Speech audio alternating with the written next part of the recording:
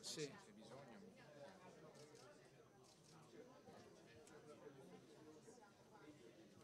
Ah, sei una- un prof della Bocconi, scusami, eh, non ho... Vabbè, vabbè, ce l'hai comunque. Sì, sì, no, ti prego di fare le considerazioni perché Eh? non abbiamo. Io poi devo fare la parte un po' più così. Tanti di quei compiti da fare. Ecco qui. Grazie. Ah, scusa, aspetta, ti lascio anche il mio cellulare. Eh? Il cellulare, aspetta. che io Non c'è? No, No, perché se, se arriva agli studenti sono finiti.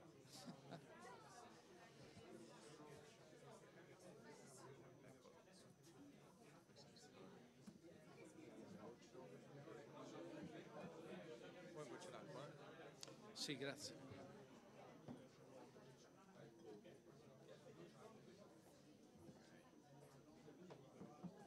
Il microfono è questo.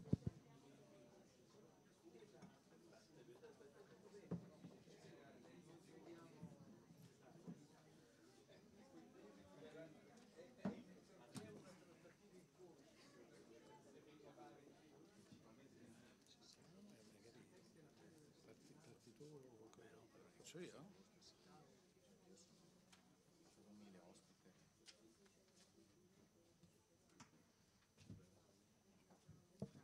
Dici? Parto.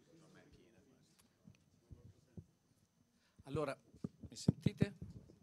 Buongiorno a tutti e benvenuti nell'auditorium del GSE che è ben lieto di ospitare questo evento di AIE, un'associazione importante eh, che da sempre dà importanti eh, contributi per lo sviluppo eh, delle politiche energetiche del nostro Paese. L'evento di oggi si chiama Settore energetico nel 2023 e prospettive per il 2024, quindi Presidente se mi permetti voglio fare qualche considerazione su- sull'anno che è passato e, e appunto sugli scenari, sulle prospettive del 2024. Beh, il 2023 è stato sicuramente caratterizzato fortunatamente da un abbassamento dei prezzi dell'energia rispetto ai picchi eh, da emergenza del 2022. La decrescita sta continuando nelle ultime 5-6 settimane come energia elettrica siamo sotto i 90 euro a megawattora, più alto rispetto ai 50 euro della- degli anni eh, pre-Covid, ma certamente molto, molto di meno rispetto alla media di 303 euro a megawattora del, 2000 del 2022. 2023 poi è stato anche eh, caratterizzato, e questo secondo me è un elemento di, di- di- di riflessione, del fatto che eh, l'importazione di energia elettrica dall'estero, che ha sempre visto nel- negli ultimi anni una, una quota intorno al 13-15%, eh, lo scorso anno questa quota è- ha raggiunto quasi il 20%. il 20%. Quindi diciamo che il governo sta eh, mettendo in atto delle, delle- delle- delle policy eh, finalizzate alla riduzione del- della dipendenza energetica del nostro paese, però sul fronte elettrico eh, è importante sottolineare e, e avere a mente eh, questo, questo aumento sul fronte dell'energia elettrica. È stata rafforzata certamente l'azione a favore della diversificazione delle fonti, degli approvvigionamenti e della sicurezza energetica, si è agito molto sul, sul permitting per favorire diciamo, la realizzazione e l'installazione di rinnovabili e non solo. Devo dire che è stata registrata una crescita significativa eh, sul fronte delle rinnovabili. Siamo passati eh, a quelle elettriche da 1 gigawatt nel 2021 a 3 eh, nel 2022, a quasi 6, 5,7 nel 2023. La parte del leone lo scorso anno, legato a questo aumento, l'ha fatto sicuramente la tecnologia fotovoltaica. Ricordo che lo scorso anno sono stati installati più di 370.000 impianti eh, per circa 5 gigawatt solo appannaggio eh, del fotovoltaico, 1000 impianti al giorno. Siamo arrivati alla fine dello scorso anno a circa eh, 1.600.000 impianti. Se teniamo, eh, facciamo conto che nel 2000, negli anni 2000 gli impianti di generazione elettrica erano intorno ai 15.000, eh, tra idroelettrico, termoelettrico, eccetera, siamo eh, veramente eh, a due ordini di grandezza eh, superiori con tutto quello che eh, ne consegue.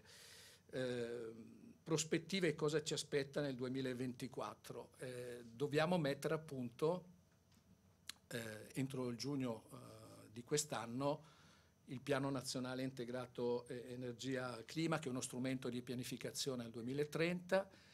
Eh, non so se entro l'anno ieri se ne parlava in un altro evento, eh, si potrà rivedere la long term strategy eh, che è datata gennaio eh, 2021. Ricordo che sul PNIEC lo scorso lunedì 26 eh, di febbraio è partita la consultazione pubblica, eh, molto importante. Qualche considerazione sulle, sulle FER. Eh, innanzitutto ovviamente l'auspicio che si trovi una quadra tra Mase e conferenza unificata sul tanto atteso decreto aree idonee eh, che stabilisce regione per regione gli obiettivi al 2030 e gli obiettivi intermedi. Come sapete eh, c'è in corso eh, da qualche giorno eh, la procedura eh, competitiva, la quattordicesima procedura competitiva del FER 1, probabilmente sarà l'ultima asta eh, del FER 1 la tredicesima è andata molto bene, eh, oltre un gigawatt eh, è stato oggetto di domande che sono eh, andate in posizione utile, eh, quindi un, successo rispetto alle precedenti aste, certamente consentitemelo di dirlo per un approccio eh, sull'istruttoria delle pratiche eh, collaborativo da parte del GSE, ma certamente il successo della tredicesima asta è legato alla, all'adeguamento eh, delle tariffe all'inflazione, adeguamento che ricordo è conseguente a una, a una norma che è stata presentata dal Parlamento eh, qualche, qualche, tempo fa. Sulle rinnovabili eh, c'è molto a carne al fuoco.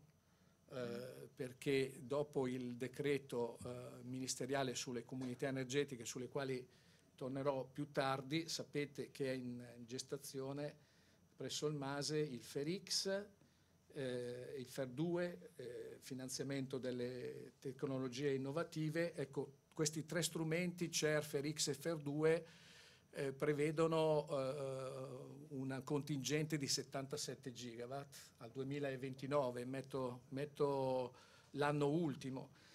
77 gigawatt che andrebbe questo, questo ammontare a superare l'obiettivo del PNIEC, insomma.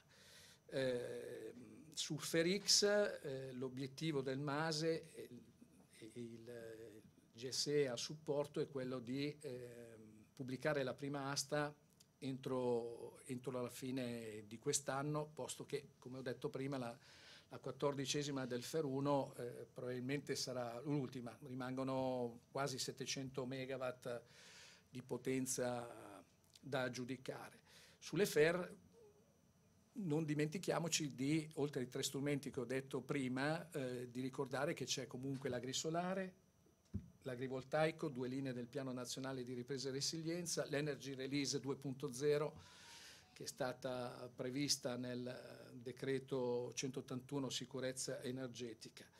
Sulle FER tre riflessioni eh, veloci, eh, ritengo che gli alti costi del materiale del e, e del, del, denaro, eh, unitamente a questo ritorno verso il basso decrescente del prezzo dell'energia, è probabile che determineranno da parte degli operatori, eh, almeno nel breve, il ricorso sistemi, a sistemi con ricavi regolati piuttosto che al mercato. Dunque le procedure competitive con i contratti per differenza che gestiremo noi. Seconda riflessione sulle comunità energetiche rinnovabili. No? Come sapete il decreto eh, 414 è entrato in vigore il 20, 24 di gennaio, sono state approvate le regole operative il 24 di febbraio, la cassetta degli attrezzi, mi piace definirla così, è quasi pronta, l'8 di aprile il GSE metterà, eh, renderà operativi i tre portali, eh, probabilmente ne, fare, anzi, ne, faremo un quarto non previsto che è un simulatore per la valutazione energetica ed economica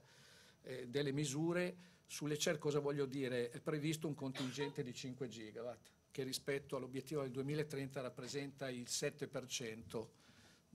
È una parte minimale, ma voglio sottolineare eh, che le CER hanno un'importanza fondamentale per il sistema paese, perché sono un meccanismo che sarà in grado di diffondere nel Paese la cultura della sostenibilità, che è assolutamente importante. Le CER stimoleranno cittadini, piccole e medie imprese, anche grandi imprese che possono ricorrere non alle CER, ma alla configurazione di autoconsumo individuale a distanza e eh, l'autoconsumo collettivo. Poi ci sono altri soggetti, enti del terzo settore, enti, enti religiosi, autorità locali, eh, saranno stimolati per essere protagonisti nella transizione energetica, che è un percorso lungo ma che prevede necessariamente il coinvolgimento di tutti. Le CER saranno importanti perché introducono una logica eh, dal basso, bottom up, per un utilizzo più consapevole ed efficiente nell'energia e aiuteranno sicuramente a superare, se non altro a contrastare la diffusa sindrome di NIMBY e la mancanza di accettabilità che c'è nel Paese da parte degli impianti. La terza ultima, ultima riflessione sulle fere è che, eh, lo butto lì come elemento di discussione, che tanti impianti siamo arrivati a un milione e sei, quindi una, una, un sistema di generazione elettrica distribuita eh, presuppone necessariamente lo sviluppo delle tecnologie principali abilitanti, cioè le reti e i sistemi di accumulo, eh, di cui c'è una presenza significativa. Siamo arrivati alla fine dello scorso anno ad avere quasi 540.000 sistemi di accumulo distribuiti per 3,4 gigawatt di potenza installata. Sapete che entro, entro la fine dell'anno o forse gli inizi del prossimo ci saranno le aste per i sistemi di, di accumulo eh, distribuiti.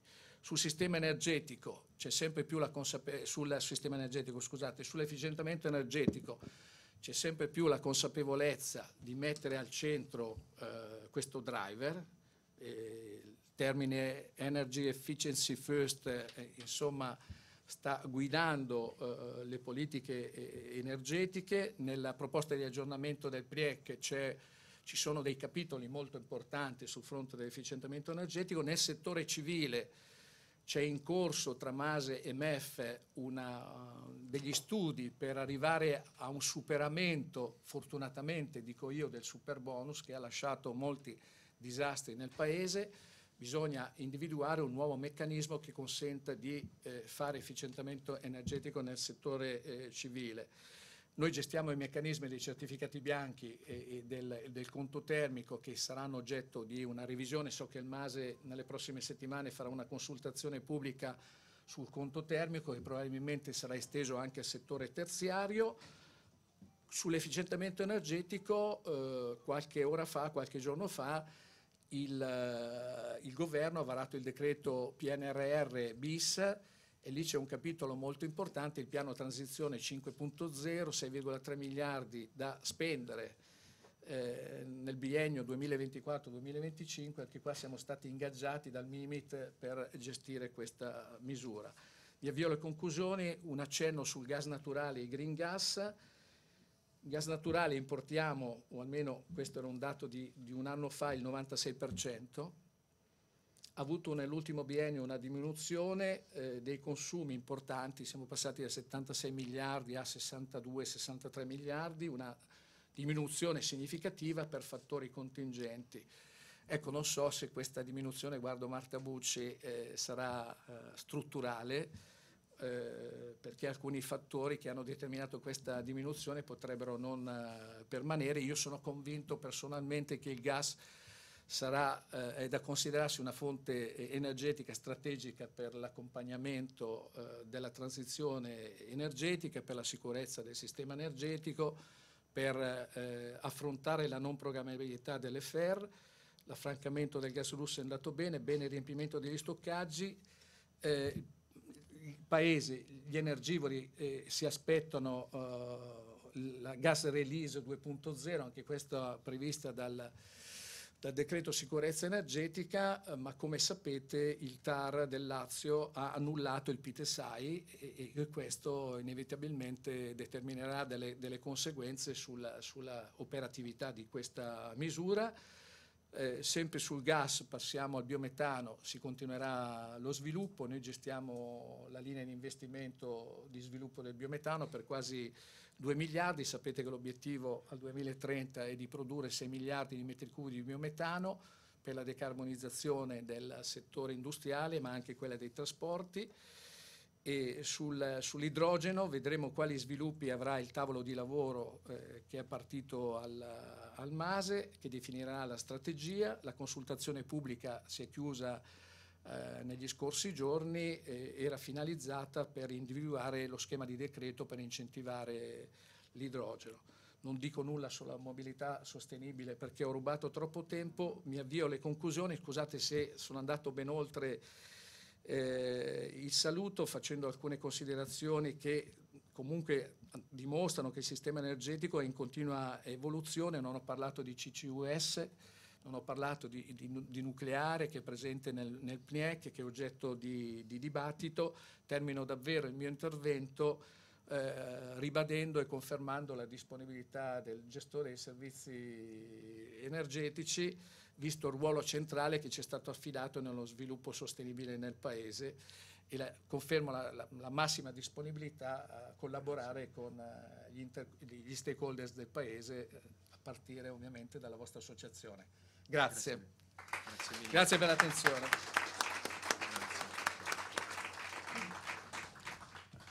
Molte grazie al Presidente Regoni, eh, anzi continuiamo con i ringraziamenti, grazie a voi, grazie al GSE che per averci ospitato ancora una volta, questa che mi dicono nota come la casa dell'energia, quindi direi un luogo ideale per organizzare il convegno di oggi. Grazie anche per, il, per aver fornito un quadro così completo che ci, ci in, in, pochi minuti credo abbia eh, chiarito il messaggio di quanto sia complesso il nostro sistema energetico, ma neanche della velocità del cambiamento. No? Mi viene da pensare che io faccio un corso di economia dell'energia all'università di 32 ore vorrei avere la tua dose eh, di sintesi, nel senso che in pochi minuti hai descritto egregiamente tutto quello che sta succedendo, che è comunque qualcosa di straordinario, non dimentichiamocela di quello che sta... Insomma, io ricordo ancora che vent'anni fa, eh, quando lavoravo ancora in consulenza, eh, ci dicevano che non si poteva avere più del 20% di rinnovabili o veniva giù il mondo, no? E comunque nell'arco di anni. E qui appunto citavi numeri straordinari, no? 5-7 gigawatt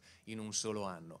Quindi veramente una situazione straordinaria. In tutto questo la, la nostra associazione si pone proprio come obiettivo quello di aiutare di partecipare come stakeholder, aiutare nel, nei dibattiti su queste appunto dinamiche complesse, favorire la comunicazione, mi viene da dire non solo tra, diciamo così, noi esperti, cioè chi vive di queste cose, chi è appassionato di queste cose, ma credo che per quel che ci riguarda ci sia anche un dovere di comunicare anche ai neofiti, a chi non è esperto, proprio perché è straordinario quello che sta succedendo, ma non è poi così noto ai più, tanto che spesso e volentieri emergono invece delle, delle non voglio dire sotto termine fake news, ma comunque la, la, il dibattito può essere portato nella direzione sbagliata, senza cogliere invece la complessità del momento, ma anche per una volta anche dicendo guarda cosa abbiamo combinato fino adesso, nel senso positivo del termine. Ecco, come AIE noi ci poniamo come obiettivo proprio quello di includere nel dibattito e di favorire anche la diffusione dell'informazione su queste queste, queste, queste tematiche. Noi lo, lo, diciamo che insomma non abbiamo bisogno che tutti siano economisti dell'energia, noi siamo l'associazione che presidia questo fatto, però tutti noi come consumatori, come cittadini abbiamo il dovere di cercare di capire che cosa sta succedendo perché, tu citato per esempio anche sulle CER, è chiaro che se io non so che cosa sono, cosa, come funzionano, avrò eh, tipicamente un, un, un istinto di rifiuto. No? Ecco, quindi noi come AIE ci proponiamo, svolgeremo una serie di eh, attività, a cominciare dai convegni che già conoscete, abbiamo attivato anche una serie di comitati divisi per filiera proprio per affrontare una serie di dibattiti e poi svilupperemo ulteriori attività nei prossimi sei mesi in termini di podcast, di webinar, eh, diciamo che il messaggio che vogliamo dare qui, come, perdonate il termine inglese, we open for business, okay? dove non facciamo business, ma siamo aperti e, e vorremmo, chiediamo anche a voi di aiutarci, eh, come posso dire, a continuare questo, lo sviluppo di queste tematiche che sono oggettivamente complesse e quindi abbiamo veramente bisogno di tutti. Mi fermo qui per quel che riguarda l'apertura, scusate ringrazio, solo un ringraziamento ancora anche oltre al GSE ai colleghi dell'AIE che vedo qui presenti ed anche a Servo per aver organizzato e reso possibile eh, il, quindi un anzi se posso chiedere un applauso alle persone che hanno reso possibile e Grazie, grazie mille. Bene, io non farò, non sono in grado di fare una relazione così completa e oltretutto siamo fortunati perché oggi abbiamo eh, quelli che le sanno fare molto meglio di me, le persone, quindi chiedo gentilmente, ringraziando ancora una volta il Presidente, eh, chiedo gentilmente di unirsi a me alla dottoressa Rita Pistacchio, responsabile rilevazioni e analisi UNE, eh, poi anche l'avvocato Edoardo De Luca, direttore generale di Elettricità Futura, l'ingegner Marta Bucci, direttore generale di Proxigas, e il dottor Ciro Rapacciuolo del Centro Studi di Confindustria. Se gentilmente... Posso mettermi qui vicino al... Oh, per me... Al, dove preferite? Al, ecco, così per manovrare meglio la, la relazione. Sono un po' ingombrante, anche tutte le mie note. Facciamo subito confusione, eh?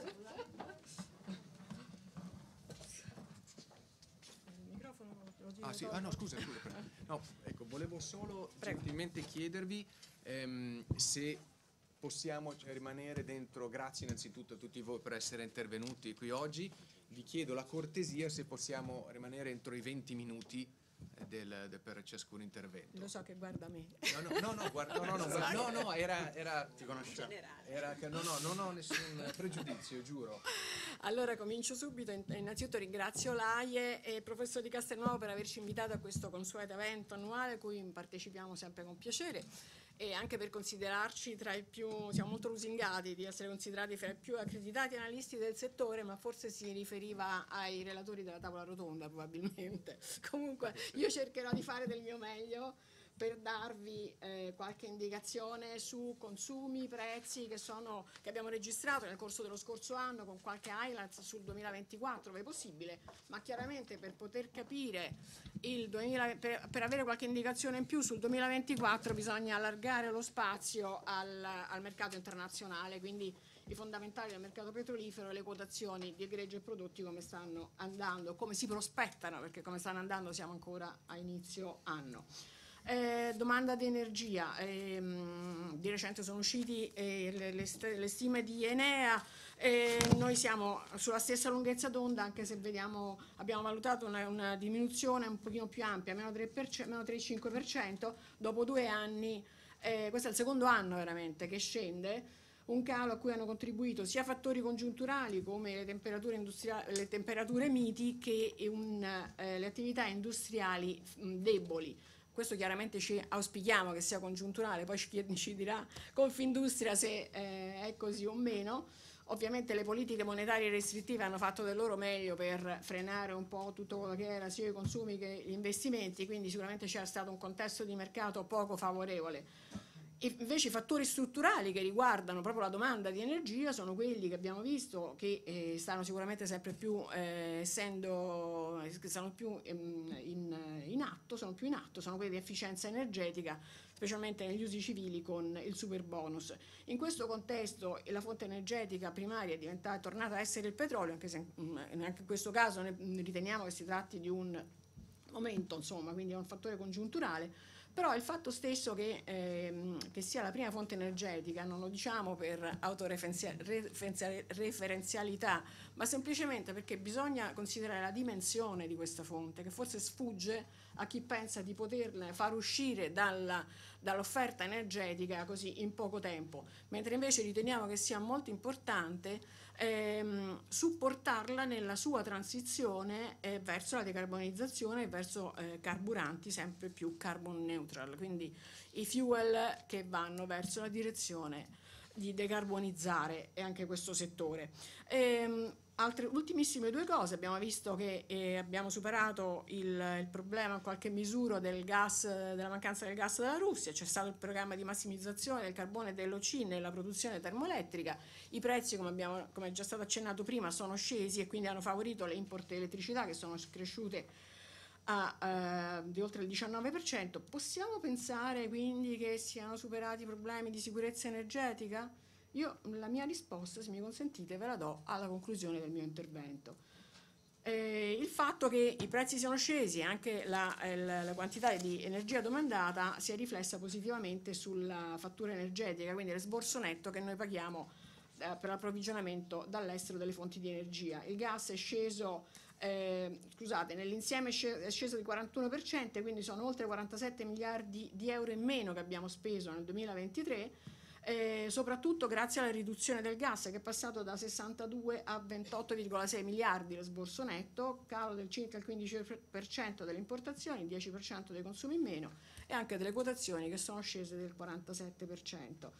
Eh, il petrolio è sceso anche lui, ma un pochino meno, anche perché era aumentato di meno rispetto al boom che ha fatto il gas e l'elettricità l'anno scorso, quindi una riduzione stimata su 4,5 miliardi, il 14% in meno.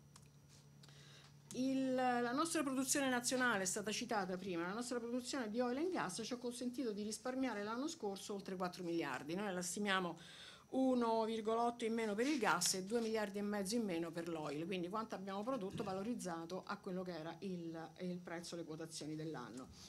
Domanda petrolifera. Allora, nel, nel, grafo di sinistra voi vedete gli andamenti mensili, quindi il, la riga blu, quella del 2019 ante-Covid, la riga rossa il crollo del Covid, le due linee tratteggiate sono questi ultimi due anni, 22 e 23. Ecco, il 23 che è la linea marroncina, non so se la vedete, solo a marzo è riuscita a superare il, il 2019, poi è stata sempre più fiacca. In termini cumulativi, in termini di anno, quindi i grafici alla vostra destra, istogrammi a destra, dimostrano che quest'anno siamo sui 57,4 milioni di tonnellate di petrolio consumate quest'anno in Italia contro i 58,3 dell'anno scorso. Quindi se osserviamo un po' l'andamento di questi, di questi istogrammi, dopo il crollo di, 9, di, oltre, di quasi 10 milioni di tonnellate in meno del, del Covid, abbiamo fatto un recupero di 5 e poi di 2,8 milioni di tonnellate, quest'anno meno 0,9. Sta succedendo qualcosa anche nel, nel settore petrolifero. Che cosa? Lo vediamo un attimo insieme. Partiamo dai carburanti che sono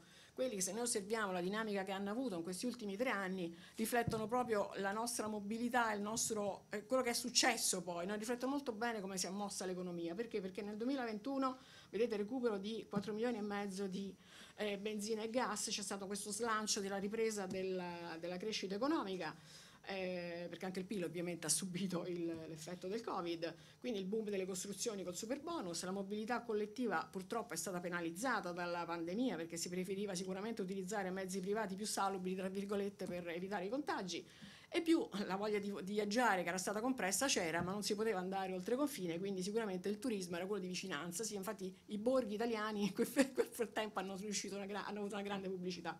2022 vedete che si è, tornati, si è arrivati addirittura a mezzo milione in più dei livelli del 2019, siamo quasi a, a 32 milioni di tonnellate contro i 31 del 2019, che c'è stato, oltre ai fattori dell'anno precedente, eh, c'è stato anche un fattore prezzi che in qualche misura ha favorito l'uso dei carburanti perché se vi ricordate ehm, il, le, le, le accise sono state eh, ridimensionate e quindi eh, rispetto agli altri paesi i nostri carburanti a questo punto erano diventati, nel 2022 erano diventati più attrattivi perché erano più, erano più economici da noi, quindi c'è stato quel, quell'effetto che noi chiamiamo turismo del pieno dai paesi limitrofi. Non solo, ma siccome i prezzi del, del gas per autotrazione erano arrivati a livelli stratosferici, praticamente tre volte rispetto, anche tre volte rispetto al, ai prezzi che avevano eh, prima del 2022 c'è stato anche uno switch dove possibile dei veicoli bifuel dal metano a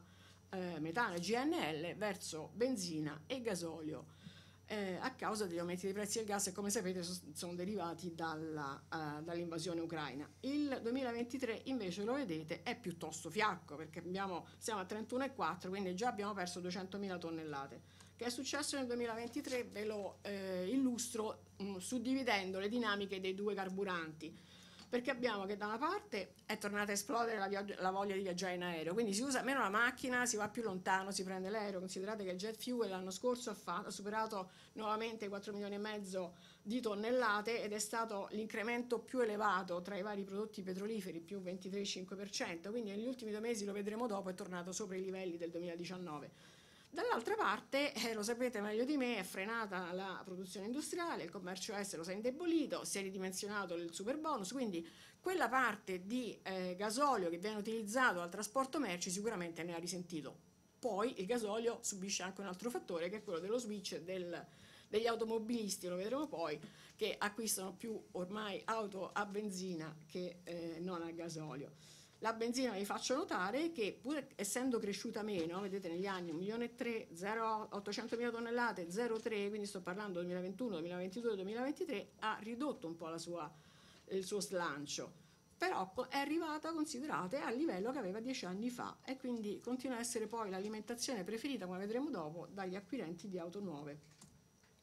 Vi do lo vediamo proprio in questa slide. Allora, la, la riga eh, rossa è il peso percentuale delle auto acquistate a gasolio, la riga blu è il peso percentuale della benzina, due, le, il grafico invece a destra vi esprime eh, queste percentuali in, eh, con, con, aree sovrapposte. Ecco, se noi partiamo dall'area sopra quella bianca, eh, che in genere è quella che, eh, su cui fanno un pochino più leva poi tutti ehm, i vari incentivi e le varie politiche per diciamo così, sganciare eh, il, gli automobilisti dal, dalle, dall'alimentazione tradizionali sono le, eh, le, altre alimentazioni. Vedete che nel corso dell'anno, qui lo, lo vedete elencato nel, nel grafico di eh, sinistra, ci sono stati già una serie di incentivi che sono stati dati alle altre alimentazioni, quindi negli ultimi vent'anni c'è stata una crescita Guardate, ai primi anni 2000 era praticamente tutto benzino e gasolio, poi dopo nel 2009 siamo arrivati al oltre il 20%, poco oltre il 20% di altre alimentazioni, GPL, metano e elettriche. Eh, poi questa, questa, percentuale si è andata affievolendo. Mm, a mio avviso, eh, quindi sto esprimendo un'opinione personale, è perché il, diciamo, quando effettivamente c'è un'innovazione tecnologica tale da eh, arrivare a, ad accogliere quelle che sono le esigenze degli automobilisti, allora effettivamente tu hai, cioè se hai un salto tecnologico che è disponibile per tutti a prezzi bassi, che è successo per esempio nel, eh, nel, col gasolio, col gasolio, col fatto di passare dai motori che se vi ricordate quando eravate giovani no? erano pesanti, lenti, a motori più piccoli, scattanti, brillanti, hanno dato una vita al gasolio che il gasolio è esploso. Per 15 anni è stato praticamente il dominio del mercato delle auto nuove. Ehm, quindi diciamo per il momento la, la, visione che noi abbiamo adesso di come si sta evolvendo, non so perché c'è solamente la, la slide, ecco perfetto, vi faccio tornare un attimo sulla slide, quella di destra con le aree. Vedete che la parte blu più forte e la parte sopra rossa più forte, quella è la, la parte dell'ibridizzazione, quindi la parte di queste eh, alimentazioni che sono sempre più elettrificate, perché il fenomeno che sta avvenendo nelle alimentazioni delle macchine nuove è proprio quello di andare verso un maggiore eh, uso di eh, elettricità per muovere il veicolo, non solo, ma anche una maggiore io direi eh, spinta verso i bio, perché la benzina e gasolio che usiamo adesso ha una percentuale di bio crescente che è passata dall'1% del 2007 all'11% già dell'anno scorso e queste percentuali di bio tenderanno a crescere in modo significativo da qui al 2030. Quindi eh, questa è una prima vision che vi do del parco auto. Secondo elemento, L'usato, guardate, il, il, l'usato, il mercato dell'usato è molto più ampio rispetto a quello del, del, del, nuovo. Il nuovo è un milione e mezzo di macchine nuove su 40 milioni che ne circolano, quindi diciamo questo input di novità è comunque una, un, un, segmento di come si muove questo parco. L'altro segmento forte è il, le, le, le, il mercato dell'usato. Ebbene, se noi togliamo, sono 5 milioni di macchine nel 2023 sono state se noi togliamo le mini volture, che sono le vendite a un veicolo, le concessionarie di rivenditori di mezzi usati, quindi vediamo quante macchine si scambiano tra, tra le persone diciamo, che eh, vogliono cambiare la macchina, sono 2 milioni e 8, quindi quasi il doppio di quello che viene acquistato usato. Quindi c'è una forte spinta ancora del mercato eh, che non va verso altre tipologie di veicoli. E che cosa scelgono questi, questi acquirenti di auto usate? Per la maggior parte del per cento, un 47,5% secondo i dati OnRAE, il gasolio. Quindi c'è un, ehm, direi una preferenza verso quelle tipologie di alimentazione che continuano a dare efficienza e economicità eh, necessaria per magari le proprie attività anche lavorative. Ultimo aspetto che vi faccio notare di come si sta muovendo il parco auto, il trend delle, delle immatricolazioni e delle radiazioni. Le immatricolazioni, vi ho detto sopra, sono un milione e mezzo, sono tornate un pochino a salire, questi ultimi due anni sono stati veramente critici per eh, l'acquisto di nuove auto, ma vedete che sono a livello molto basso rispetto a quanto facevamo in passato, quindi questo parco stenta a, ad avere flussi nuovi di macchine. Non solo, ma le radiazioni è quello che preoccupa di più, perché le radiazioni sono scese al minimo storico cioè su sotto un milione. Prosegue quello che un, un industriale in Confindustria ha definito effetto Cuba, non si comprano le auto elettriche perché costano troppo, non si, non si comprano quelle a eh, motore ICE perché non, il, poi può crollare il loro valore a breve, manteniamo la nostra vecchia auto, andiamo avanti con quella fin tanto che ci si orienta meglio sul mercato, quindi questo parco diventa sempre più vecchio e sempre più numeroso.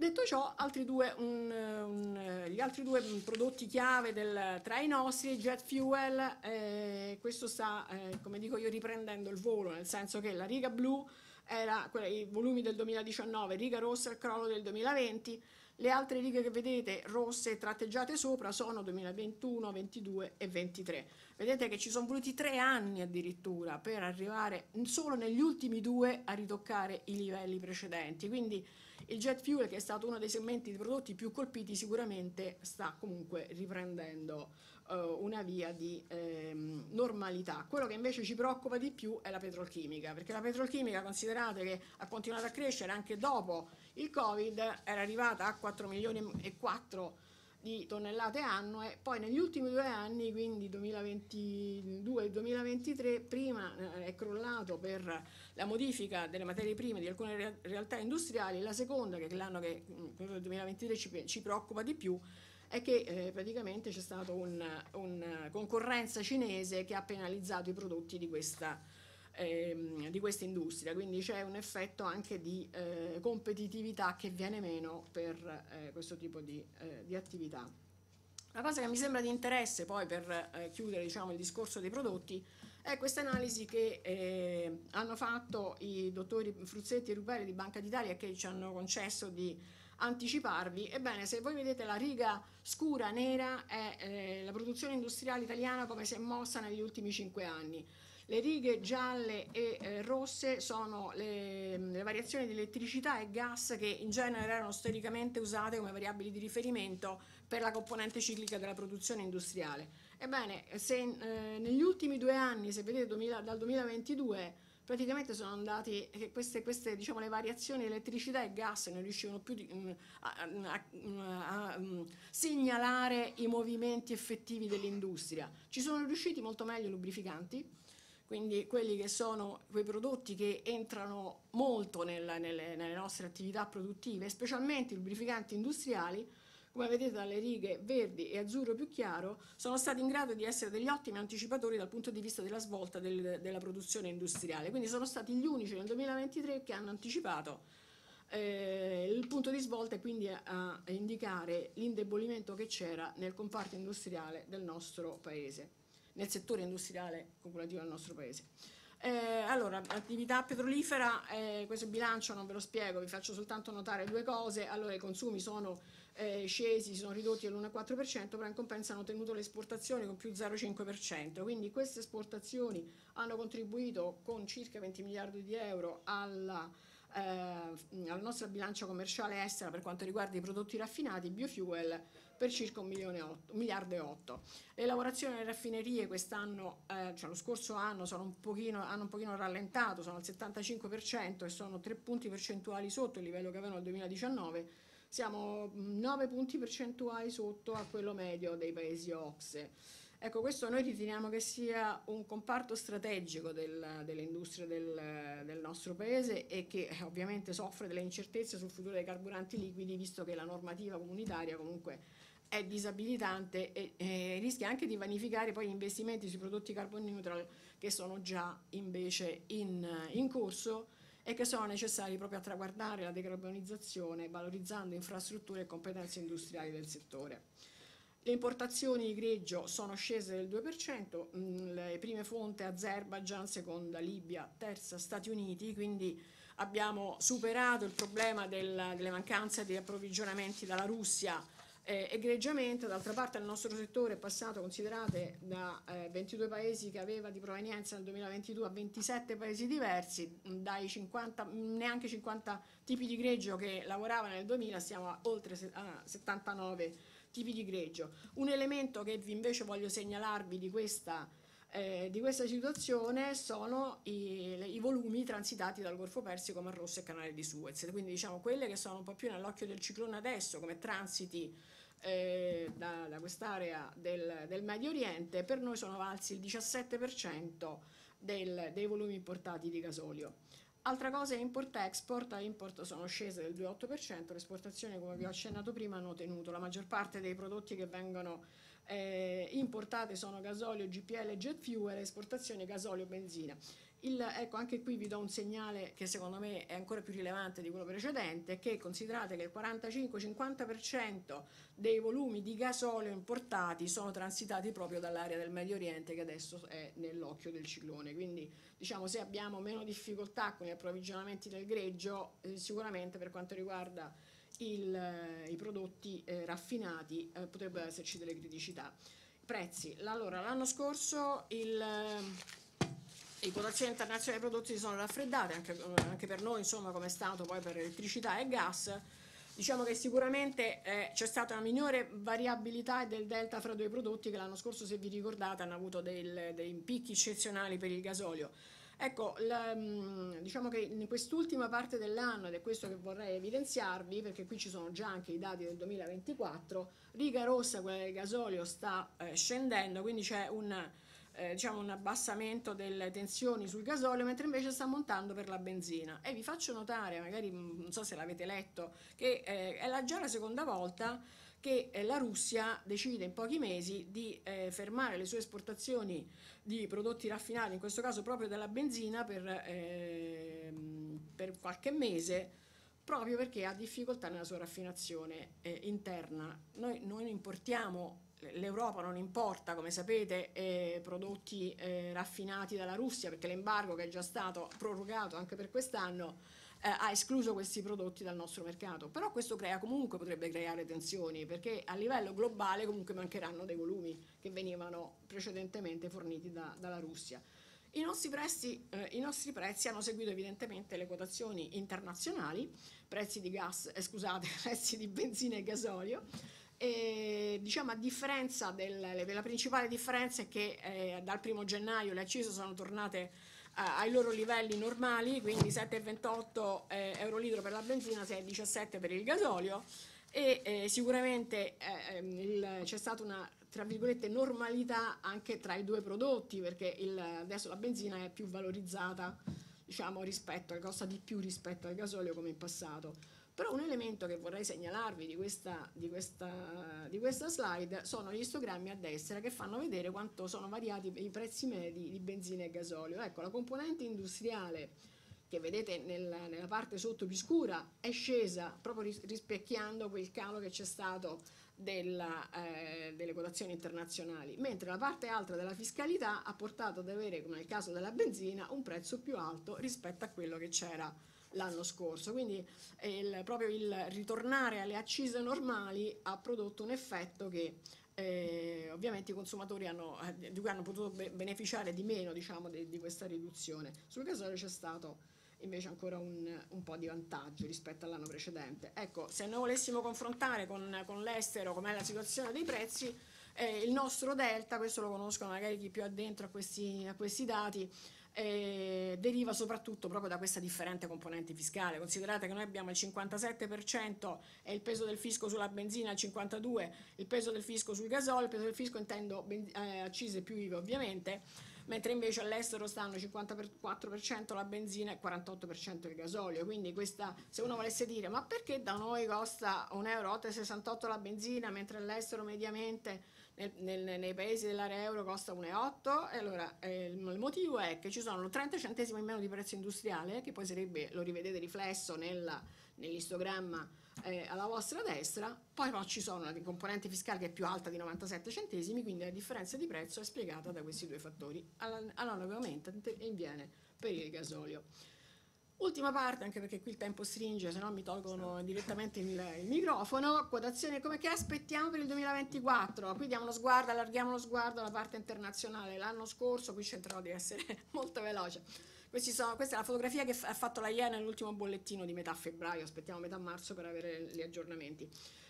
L'anno scorso c'è stato un boom della domanda, c'è stata una crescita di 2,3 milioni di barili al giorno. Sapete che cosa significa? Significa l'equivalente della produzione dei due paesi messi insieme, la Nigeria e la Libia. Il, eh, la parte determinante di questa crescita l'hanno fatto ovviamente i paesi non OXE, la parte determinante tre quarti è stata la Cina, quindi c'è una parte asiatica che risucchia petrolio a tutto volume direi, no? quindi c'è sicuramente una grande spinta della domanda.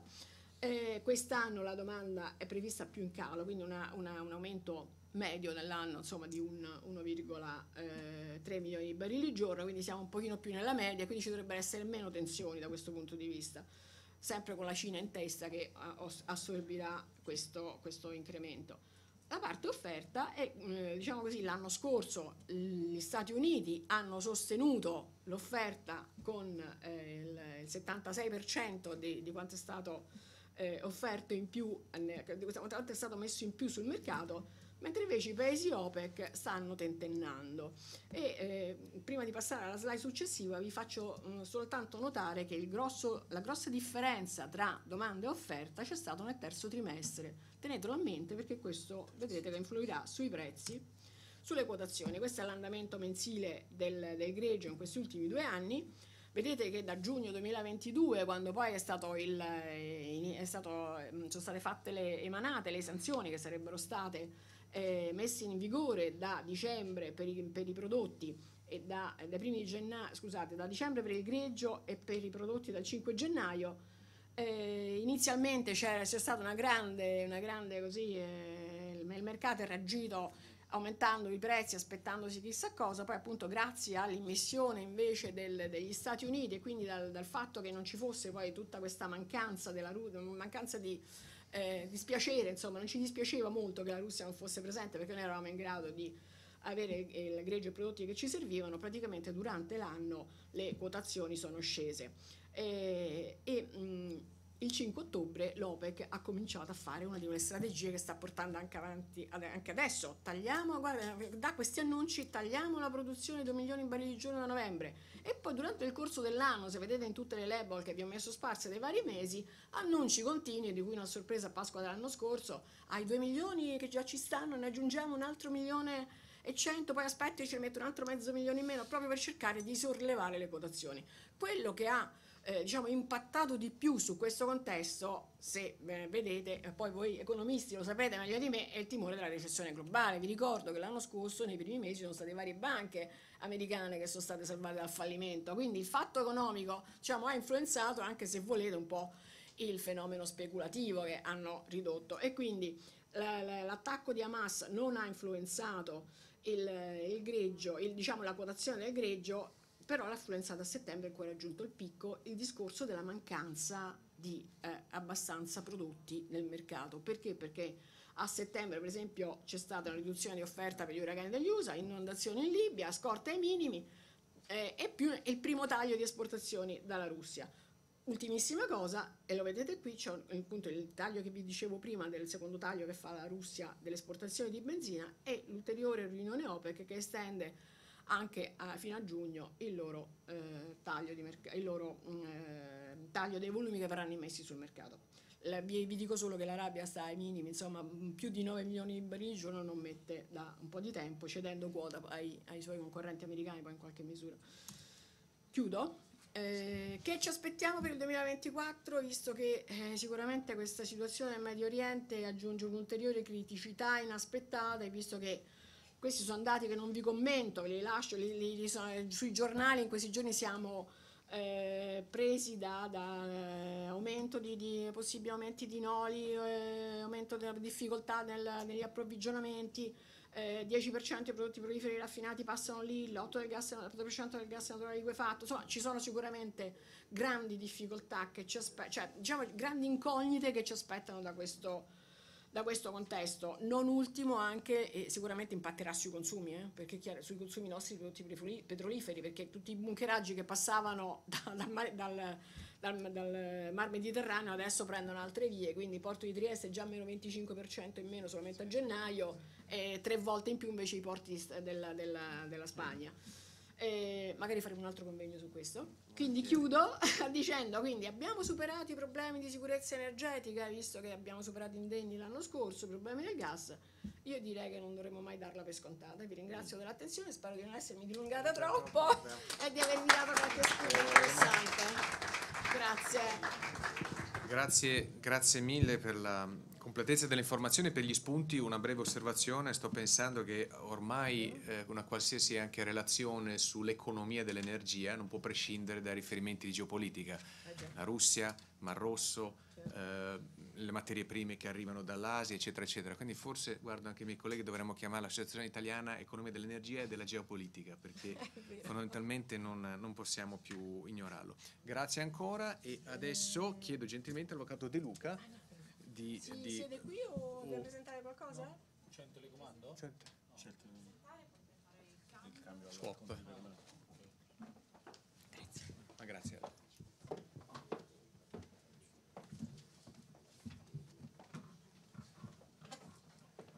De Luca che eh, ci farà una relazione sulla, sulla domanda, eh, la domanda e l'offerta di elettricità, essendo rappresentante di Elettricità Futura. Grazie. Grazie mille.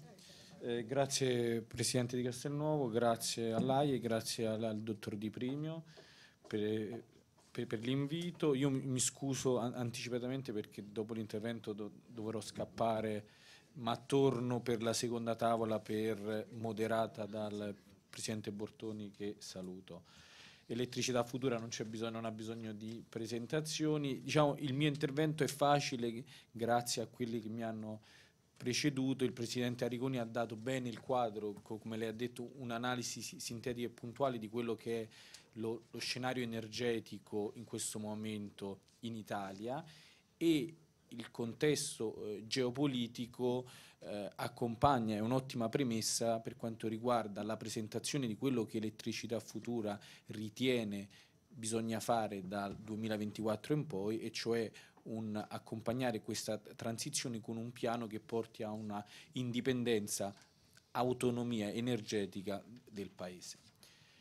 Partiamo da alcuni numeri, nel 2022 l'energia elettrica rinnovabile ha fatto risparmiare secondo Irena 521 miliardi nel mondo, 176 miliardi in Europa, 25 miliardi eh, in Italia. Um, e eh, come indicato indietro, ed è per questo che nel mondo oltre l'80% di nuova potenza elettrica re- realizzata nel 2022 è rinnovabile. Eh, il piano elettrico presentato da Elettricità Futura per il, per il 2030 che è coerente con quello che è il Reparo EU port, eh, punta ad arrivare all'84% di rinnovabili nel mix elettrico. La domanda, eh, noi abbiamo stimato, in base anche ai dati Terna, che la domanda di energia elettrica crescerà da 306 TWh nel 2023 a 360. Visto quindi questa crescita della domanda, riteniamo possibile arrivare a un'offerta diciamo, di energia elettrica, in particolar modo eh, fornita da eh, impianti a fonte rinnovabile. Questo perché? Perché penso che il presupposto diciamo, di tutti gli impegni che il Paese sta mettendo è quello di rendere il Paese oltre che indipendente e autonomo anche competitivo, quindi fornire, l'obiettivo è fornire alle aziende che producono italiane e ai cittadini l'energia al minor costo possibile. Quindi partendo da questo obiettivo, come fare questo? In questo momento sono molte le tecnologie a disposizione ed è importante che tutte vengano sfruttate, però certamente in questo momento la tecnologia eh, garantita dagli impianti a fonti rinnovabili e dal fotovoltaico in particolar modo è quella che permette la la produzione di, di, energia a un costo più basso. Il nostro piano eh, presentato dal settore elettrico prevede di arrivare ad aver installati in Italia nel 2030 143 gigawatt, che vuol dire quindi da qui al 2030 almeno diciamo, 12 gigawatt di nuova potenza ri- rinnovabile. Il numero non è un numero impossibile, visto che stando qui al, al, al GSE può testimoniare che questi numeri sono stati fatti perché questo è il numero di gigawatt che è stato installato dieci anni fa, quando c'era all'epoca dei conti energia, quindi stiamo parlando nel 2011-12, a tecnologie forse eh, diverse, quei numeri sono stati fatti. Poi si è arrivato a quella media che ha citato il Presidente Arrigoni di 1-2 gigawatt all'anno, c'è stata un, un, una crescita, come ha ben detto il, il Presidente Arrigoni, negli ultimi due anni, nel 2023 sono circa 6 gigawatt installati, ma aggiungiamo una piccola nota rispetto a quanto detto che l'80% di quegli impianti sono impianti sotto il megawatt, sono impianti realizzati in base al super bonus, sia nel 2022 che erano 2 gigawatt su 3 gigawatt, quindi abbiamo più dell'80% e sono piccoli impianti. È una cosa positiva certamente perché indica che anche diciamo, fra i cittadini si è compreso l'importanza o il vantaggio dell'installazione di piccoli impianti, ma ai fini di quello che è la premessa che ci vede sempre tutti, immagino, d'accordo e raccolti, se è produrre energia a minor costo, gli impianti che permettono, diciamo, in un'ottica di scala di ridurre i costi sono gli impianti utility scale, i grandi impianti. E infatti se si paragona gli ultimi due anni quello che ha fatto l'Italia e altri paesi come la Francia, la Germania e la, la Spagna, si vede che la grande differenza è sugli utility scale eh, paesi come la Germania e Spagna hanno fatto numeri molto più alti rispetto a quelli nostri. Quindi questi dati di obiettivi nostri eh, di eh, installazioni sono possibili perché è, è stato fatto e. È chiaro che in un occhio di equilibrio del sistema è fondamentale anche in contemporanea la realizzazione di 80 GWh di accumuli di grande taglia perché altrimenti logicamente il sistema non reggerebbe. Questo eh, comporta anche che cosa? Che se si riuscisse a mettere a terra questo questo piano, si tratta di 320 miliardi di investimenti nel settore elettrico pre prevedendo tutta la sua filiera, una riduzione delle, delle emissioni importante e soprattutto 540 mila nuovi posti di lavoro in più. Questo è importante perché spesso viene additato come la transizione eh, può portare a una perdita di posti di lavoro, invece secondo uno studio che, che noi abbiamo fatto insieme a Enel Foundation e, e, al Tesis questo è, è, non avviene, anzi. Eh, bisogna sfatare il, mito che è quello che purtroppo eh, ostacola, perché parliamoci chiaro, il governo, il Parlamento in questi anni hanno anche fatto uno sforzo di semplificazioni, di interventi a sostegno del settore, ma c'è ancora una percezione da parte dei cittadini e non solo che le rinnovabili diciamo, occupino il, te il territorio in maniera diciamo, predatoria. Eh, I numeri che noi abbiamo detto occuperebbero diciamo, quei gigawatt in più che dobbiamo installare solo lo 0,2% del territorio, quindi sicuramente è, secondo noi ridimensiona quella percezione che c'è nel Paese. Ehm, questo è, eh, diciamo, per arrivare a, a, realizzare tutto questo chiaramente c'è bisogno di, di, più elementi che sono quelli che ha citato anche il, il Presidente Arrigoni, bisogna ancora lavorare sul, sulle autorizzazioni e sul target regionale. Per quanto riguarda le autorizzazioni noi come Elettricità Futura riteniamo per il 2024 prioritario l'adozione di un testo unico che non solo deve essere come quello previsto dal PNRR, il testo unico delle rinnovabili, ma pensiamo che debba essere fatto un testo unico di tutte le infrastrutture del settore energetico, cioè un testo che permetta agli operatori del settore di avere chiaramente norme chiare di facile interpretazione che possano permettere la, loro eh, messa a terra. Gli obiettivi, il DMR idoneo potremmo dire che oggi è importante per quello che ha detto il Presidente Arrigone, per individuare gli obiettivi regionali, perché per quanto riguarda i contenuti che abbiamo visto sia nella bozza di, di decreto del, dei ministeri che delle osservazioni che hanno fatto le regioni, pensiamo che eh, sarebbe meglio non fare il decreto, dire che sono idonee tutte le aree non sottoposte a particolari eh, vincoli e non perdere ulteriore tempo come quello che stiamo perdendo in attesa di un, di un, decreto che effettivamente forse è difficile da realizzare perché è difficile da mettere eh, d'accordo tre ministeri, ma, ma, ma, soprattutto la sua applicazione dovrà ancora scontare poi il tempo necessario affinché ogni regione adotti la sua legge regionale che individua quelle aree idonee. Quindi, com, come dire, eh, è ancora lungo il, il, percorso. È importante quello che è la disciplina degli interventi sugli accumuli sul capacity market. È fondamentale che il FERX esca, come anche il FER2, il prima possibile. eh, è, è, fondamentale che, esce anche, che si intervenga sui PPA, sono tutti strumenti che sono necessari per poter re realizzare il piano che eh, abbiamo detto. Noi pensiamo che questo sia fattibile, ci deve essere la volontà da parte di tutti per, per poter arrivare a, a, accelerare la transizione e a ridurre i costi per l'energia elettrica. Grazie mille e, e scusate se mi dovrò sentare però. Grazie mille Elettricità Futura per un quadro, anche questo è un caso così completo, che ci ricorda anche in, questo, questa particolare situazione gli straordinari risultati raggiunti, anche effettivamente anch'io non ricordavi 12 gigawatt all'epoca del decreto Alcoa, che sembravano, e oggigiorno però vediamo come stanno crescendo e quindi effettivamente potrebbero essere alla portata. Grazie ancora e adesso cambiamo eh, vettore no? e, e, passiamo all'ingegner Marta Bucci, direttore generale di Proxicas. Marta. Grazie innanzitutto. Prendi.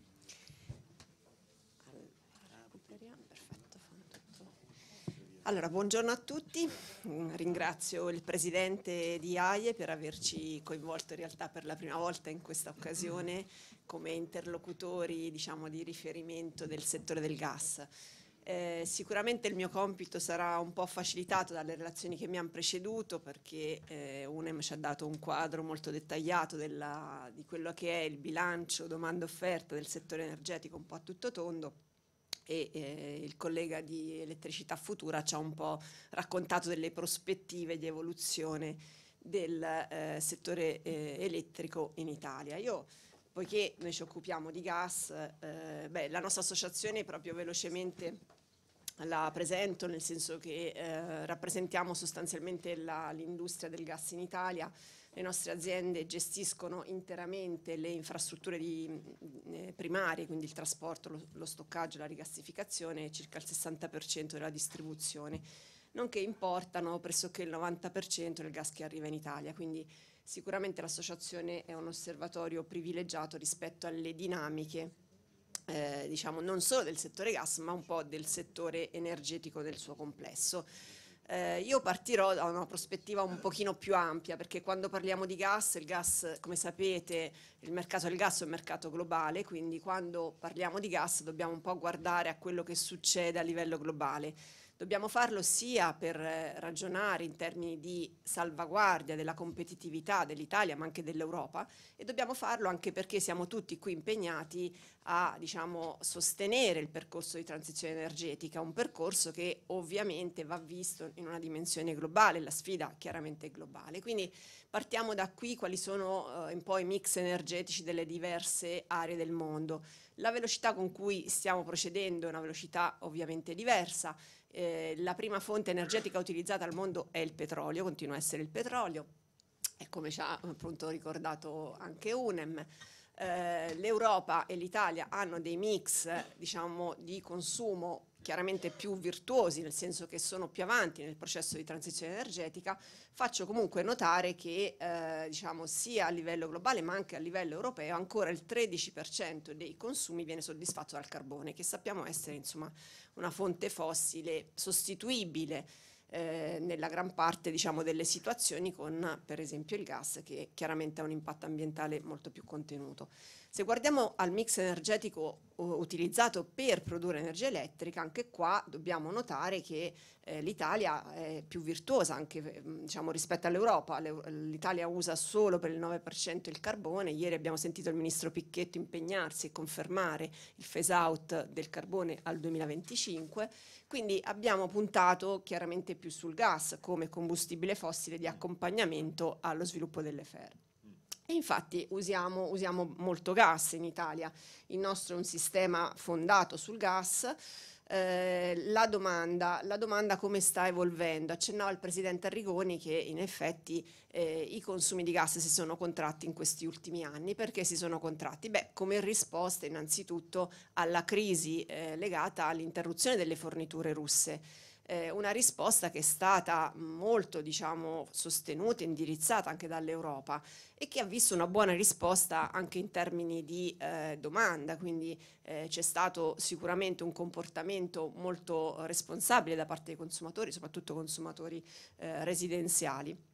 E quindi cosa, cosa abbiamo notato? Che dal 2021 al 2023 effetti, effettivamente questa contrazione della domanda eh, si è un po' avuta diciamo, in maniera pressoché eh, coerente diciamo, sia sul mercato europeo che sul mercato italiano, una contrazione più accentuata, se vogliamo, soprattutto in Europa, sul settore industriale, come risposta ad una, ad una dinamica di prezzo che chiaramente ha fatto diventare il gas un combustibile meno conveniente rispetto anche ad altri combustibili. Da notare che la contrazione del settore industriale in Europa è stata più accentuata, abbiamo avuto meno 24% dal 22 eh, quindi il 22 rispetto al 21, mentre in Italia diciamo solo tra virgolette il 14%. Poi chiaramente il collega di Confindustria magari ci dirà di più di, di come poter interpretare questo dato. Eh, riduzione importante anche sul civile, quindi per un contenimento della domanda, una responsabilizzazione dei clienti, ma anche una climatica molto favorevole, quindi dobbiamo riconoscere che gli ultimi inverni sono stati particolarmente miti e qui insomma un po' anche la domanda che si faceva al Presidente Arrigoni, sarà un calo strutturale questo? Potremo effettivamente pensare di considerare questa riduzione strutturale anche per i prossimi anni? Il termoelettrico eh, fa, diciamo, compensa perché un po' il, il, gas, la produzione termoelettrica gas bilancia che cosa? La progressiva eh, penetrazione delle FER, quindi risente un po' di quello che è l'andamento delle, delle ferre in generale, quindi dell'idroelettrico, per cui quando per esempio l'idroelettrico eh, purtroppo va in crisi per problemi legati a, anche alla siccità e quindi al cambiamento climatico, il gas poi compensa. In Europa è stato influenzato anche dalla riduzione della produzione di nucleare, quindi ha questo diciamo, ruolo di bilanciamento e quindi anche qua un po' difficile pensare e prevedere quanto poi gas servirà per tenere insieme il sistema eh, elettrico. Eh, I primi mesi del 2024 confermano in effetti questa riduzione, tendenzialmente e principalmente legata un po' alla, alla, climatica che continua a essere particolarmente mite, sicuramente anche l'efficienza energetica sta dando i, i, propri frutti, quindi gli interventi che sono stati messi a terra e poi l'incremento progressivo della generazione eh, diciamo, da FER e, e comunque idroelettrica. La domanda quindi è, il nostro sistema di approvvigionamento è quindi adeguato rispetto a questa domanda che vediamo oggi e che potremmo diciamo, vedere nei prossimi anni? Ma allora, il nostro sistema infrastrutturale è un sistema molto diversificato. È un po' un patrimonio diciamo, del nostro paese, noi lo ricordiamo sempre perché il paese ha investito in questo sistema infrastrutturale e quindi dobbiamo considerarlo come un patrimonio. Questo sistema così diversificato, noi abbiamo cinque pipe che ci consentono di importare gas dall'estero, quindi è già un sistema molto diversificato. Abbiamo quattro terminali in esercizio, quindi eh, il terminale di Panigaglia, Piombino, eh, Cavarsere, eh, quindi Rovigo e Livorno. Eh, sapete che ce n'è un altro diciamo, in eh, costruzione che è quello di Ravenna, eh, si tratta di un'unità galleggiante.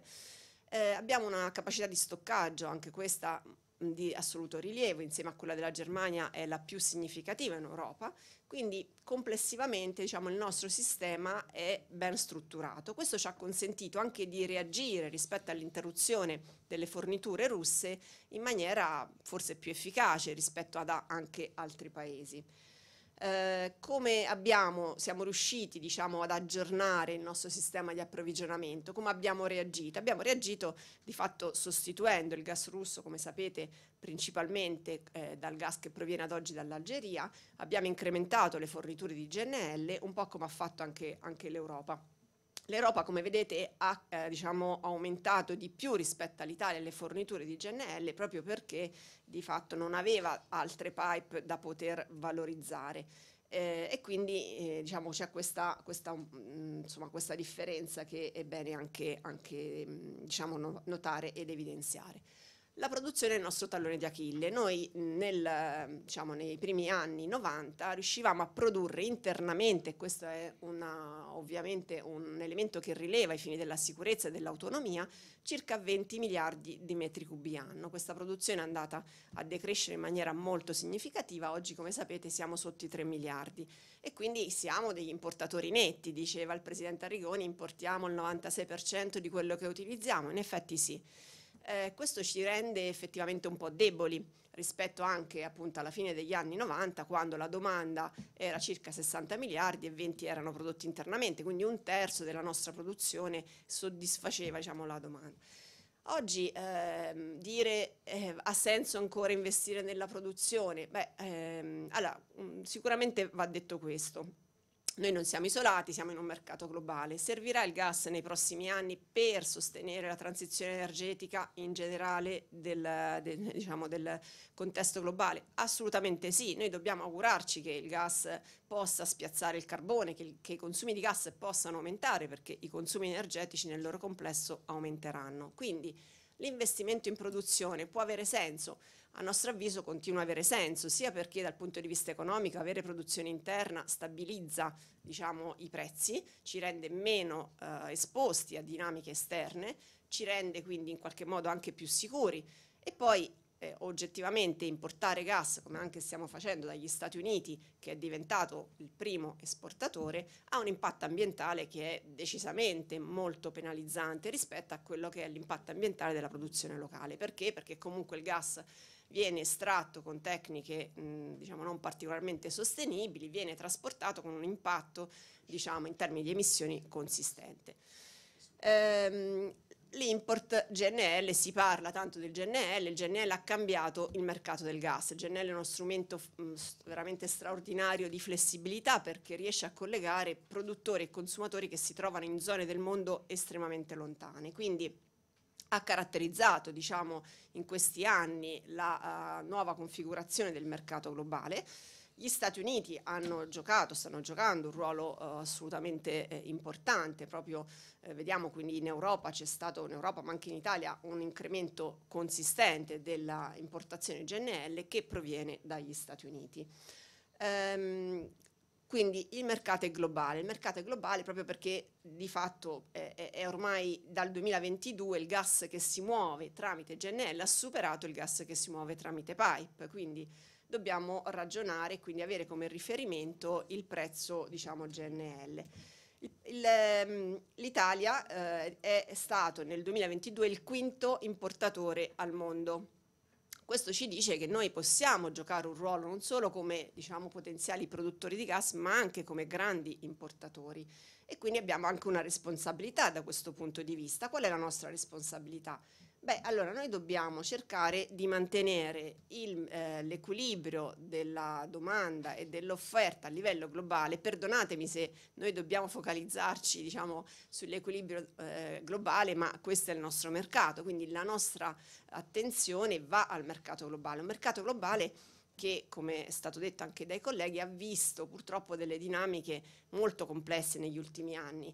Eh, faccio un'integrazione. La prima crisi di prezzo non è eh, diciamo, derivata dalla guerra Russia-Ucraina, era precedente. Perché, perché post-Covid c'è stata una ripresa importante della domanda energetica, eh, ripresa della domanda che non è stata soddisfatta pienamente perché l'offerta non si era investito nell'offerta e quindi l'offerta di fatto era impreparata eh, si è creato un mercato corto, quindi prezzi molto alti. Chiaramente nel momento in cui la Russia diciamo, eh, ha interrotto le proprie forniture, la Russia è il primo esportatore eh, di gas al mondo, questa cosa si è aggravata e quindi abbiamo visto, diciamo, abbiamo subito purtroppo queste dinamiche veramente molto, molto complesse. Quindi il 2022 è caratterizzato da questi eh, picchi di prezzo davvero diciamo, ingestibili che hanno purtroppo drenato grosse risorse economiche di, di tutti gli stati, stati europei, per mitigare l'effetto di queste dinamiche sulle bollette. E poi abbiamo visto per fortuna diciamo, un po' un rallentamento, un rilassamento di queste, di queste tensioni che hanno portato un abbassamento dei prezzi. E quello che un po' stiamo vivendo oggi, che sostanzialmente sono prezzi diciamo, abbastanza stabili, che oscillano intorno ai 25 euro megawattora, sono dal nostro punto di vista dei prezzi che esprimono un buon bilanciamento domanda-offerta, poi chiaramente se noi andiamo a confrontarli con i prezzi vissuti in epoca Covid confrontiamo cose diverse, durante il Covid non c'era domanda, quindi chiaramente quello non può essere un riferimento eh, diciamo, rilevante. Quindi ci sarà da chiederci se poi il 25 possa essere in qualche modo un livello di riferimento. Ma la domanda più importante è capire come noi come Italia, qui abbiamo rappresentato l'Italia, ma il, discorso analogo vale per l'Europa, possiamo resistere a queste dinamiche. Perché dobbiamo resistere a queste dinamiche? Perché nel momento in cui appunto i prezzi arrivano a quei livelli, di fatto il nostro sistema produttivo ne soffre e qui appunto sentiremo un po' il collega di Confindustria. Quindi per salvaguardare il nostro sistema produttivo, la nostra capacità di spesa e quindi non dover drenare risorse pubbliche per mitigare poi gli effetti di queste bollette dobbiamo eh, interrogarci su come poter diciamo, proteggere un po' il nostro mercato rispetto a queste dinamiche e come lo proteggiamo? Beh, noi siamo degli importatori netti, l'Europa è un importatore netto, però possiamo diversificare, possiamo diversificare, quindi ampliare le nostre rotte di approvvigionamento, possiamo far sì diciamo, dotarci di un sistema infrastrutturale che ci consenta di cogliere le opportunità di mercato. Questa è uno, una strada diciamo, alla, nostra, alla nostra portata. Questo significa anche investire nelle infrastrutture gas. E quindi insomma è un po' questo, diciamo, alla fine io lo, lo, pongo come tema per la discussione perché il punto è questo, si andrà sicuramente una, a, a, diciamo, a progredire nella penetrazione delle rinnovabili, avremo un sistema che sarà sempre di più spostato anche sull'elettrificazione dei consumi, ma al contempo dobbiamo immaginare, dobbiamo considerare che i prossimi anni vedranno? Un contesto geopolitico molto complesso, difficilmente prevedibile, una domanda globale difficilmente prevedibile perché la domanda energetica dipenderà da tantissimi fattori, dalla velocità di crescita dei paesi in via di sviluppo, da fattori sociali, economici, climatici. E quindi in questo contesto estremamente variabile noi dobbiamo attrezzarci e quindi per attrezzarci essere più resilienti, essere capaci di non fermare la transizione energetica perché il punto è quello, nel momento in cui salta l'equilibrio del gas, abbiamo prezzi del gas elevati, cresce l'inflazione, diventa difficile anche investire nella transizione energetica, quindi è veramente un elemento cruciale questo, oltre che avere degli effetti ambientali drammatici, perché negli ultimi anni i livelli di emissioni globali sono eh, arrivati purtroppo alle stelle, abbiamo usato più carbone rispetto al gas proprio perché il carbone era più conveniente. Quindi tutto questo per dire che cosa dobbiamo aspettarci. Tornando velocemente all'Italia, ci sono delle previsioni di scenario diciamo, che danno un po' delle forchette, adesso qui abbiamo riportati gli ultimi di Snap Terna che tra l'altro sono in fase di aggiornamento, è molto difficile capire quale sarà onestamente diciamo, il livello di domanda, quanto potrà scendere, perché? Perché eh, perché spostare la domanda dal gas all'elettrico è comunque un percorso complesso, articolato, in alcuni casi è fattibile più facilmente, in altri casi richiede un accompagnamento e un sostegno diciamo, più impegnativo, soprattutto ecco, nel settore civile che pure è stato citato. Ma dobbiamo attrezzarci per poter, per poter, gestire entrambi gli estremi, quindi la domanda sarà variabile, noi dobbiamo essere capaci di gestire questa variabilità di domanda, quindi molto importante è la flessibilità come fare? Quindi noi continuiamo a sostenere che sia necessario mh, ancora investire, diciamo, sviluppare produzione domestica, produzione locale, mettere in sicurezza il sistema energetico europeo. Non è ancora in sicurezza, non è in sicurezza perché noi siamo, dobbiamo diciamo, riuscire a fare a meno la famosa regola dell'N-1, riuscire a fare a meno di una o due delle fonti energetiche che ad oggi ci alimentano, proprio perché il, il, diciamo, il sistema geopolitico purtroppo è complesso in questo periodo e poi anche cogliere magari l'opportunità del lab energetico del Mediterraneo perché ci vede in una posizione geografica favorevole ad un'opportunità che potremo sfruttare. Nel contempo siamo impegnati nella transizione energetica, quindi dobbiamo rendere sempre più sostenibile l'utilizzo del gas, quindi la tecnologia di cattura e stoccaggio della CO2 dal nostro punto di vista è uno strumento prezioso e va sicuramente promosso come pure la produzione di green gas, quindi il biometano, il metano sintetico, l'idrogeno che ci consentono di valorizzare anche l'infrastruttura esistente. Infine dobbiamo, siamo impegnati anche in maniera molto eh, diciamo, cogente nel decarbonizzare le molecole, quindi ridurre le emissioni fuggitive, un tema che è venuto fuori anche alla COP28, e il flaring che sostanzialmente sono le emissioni in, fase di produzione. Quindi questo è un po' diciamo, gli spunti che portiamo a questa riflessione odierna. Vi ringrazio per l'attenzione e ringrazio ancora Aie.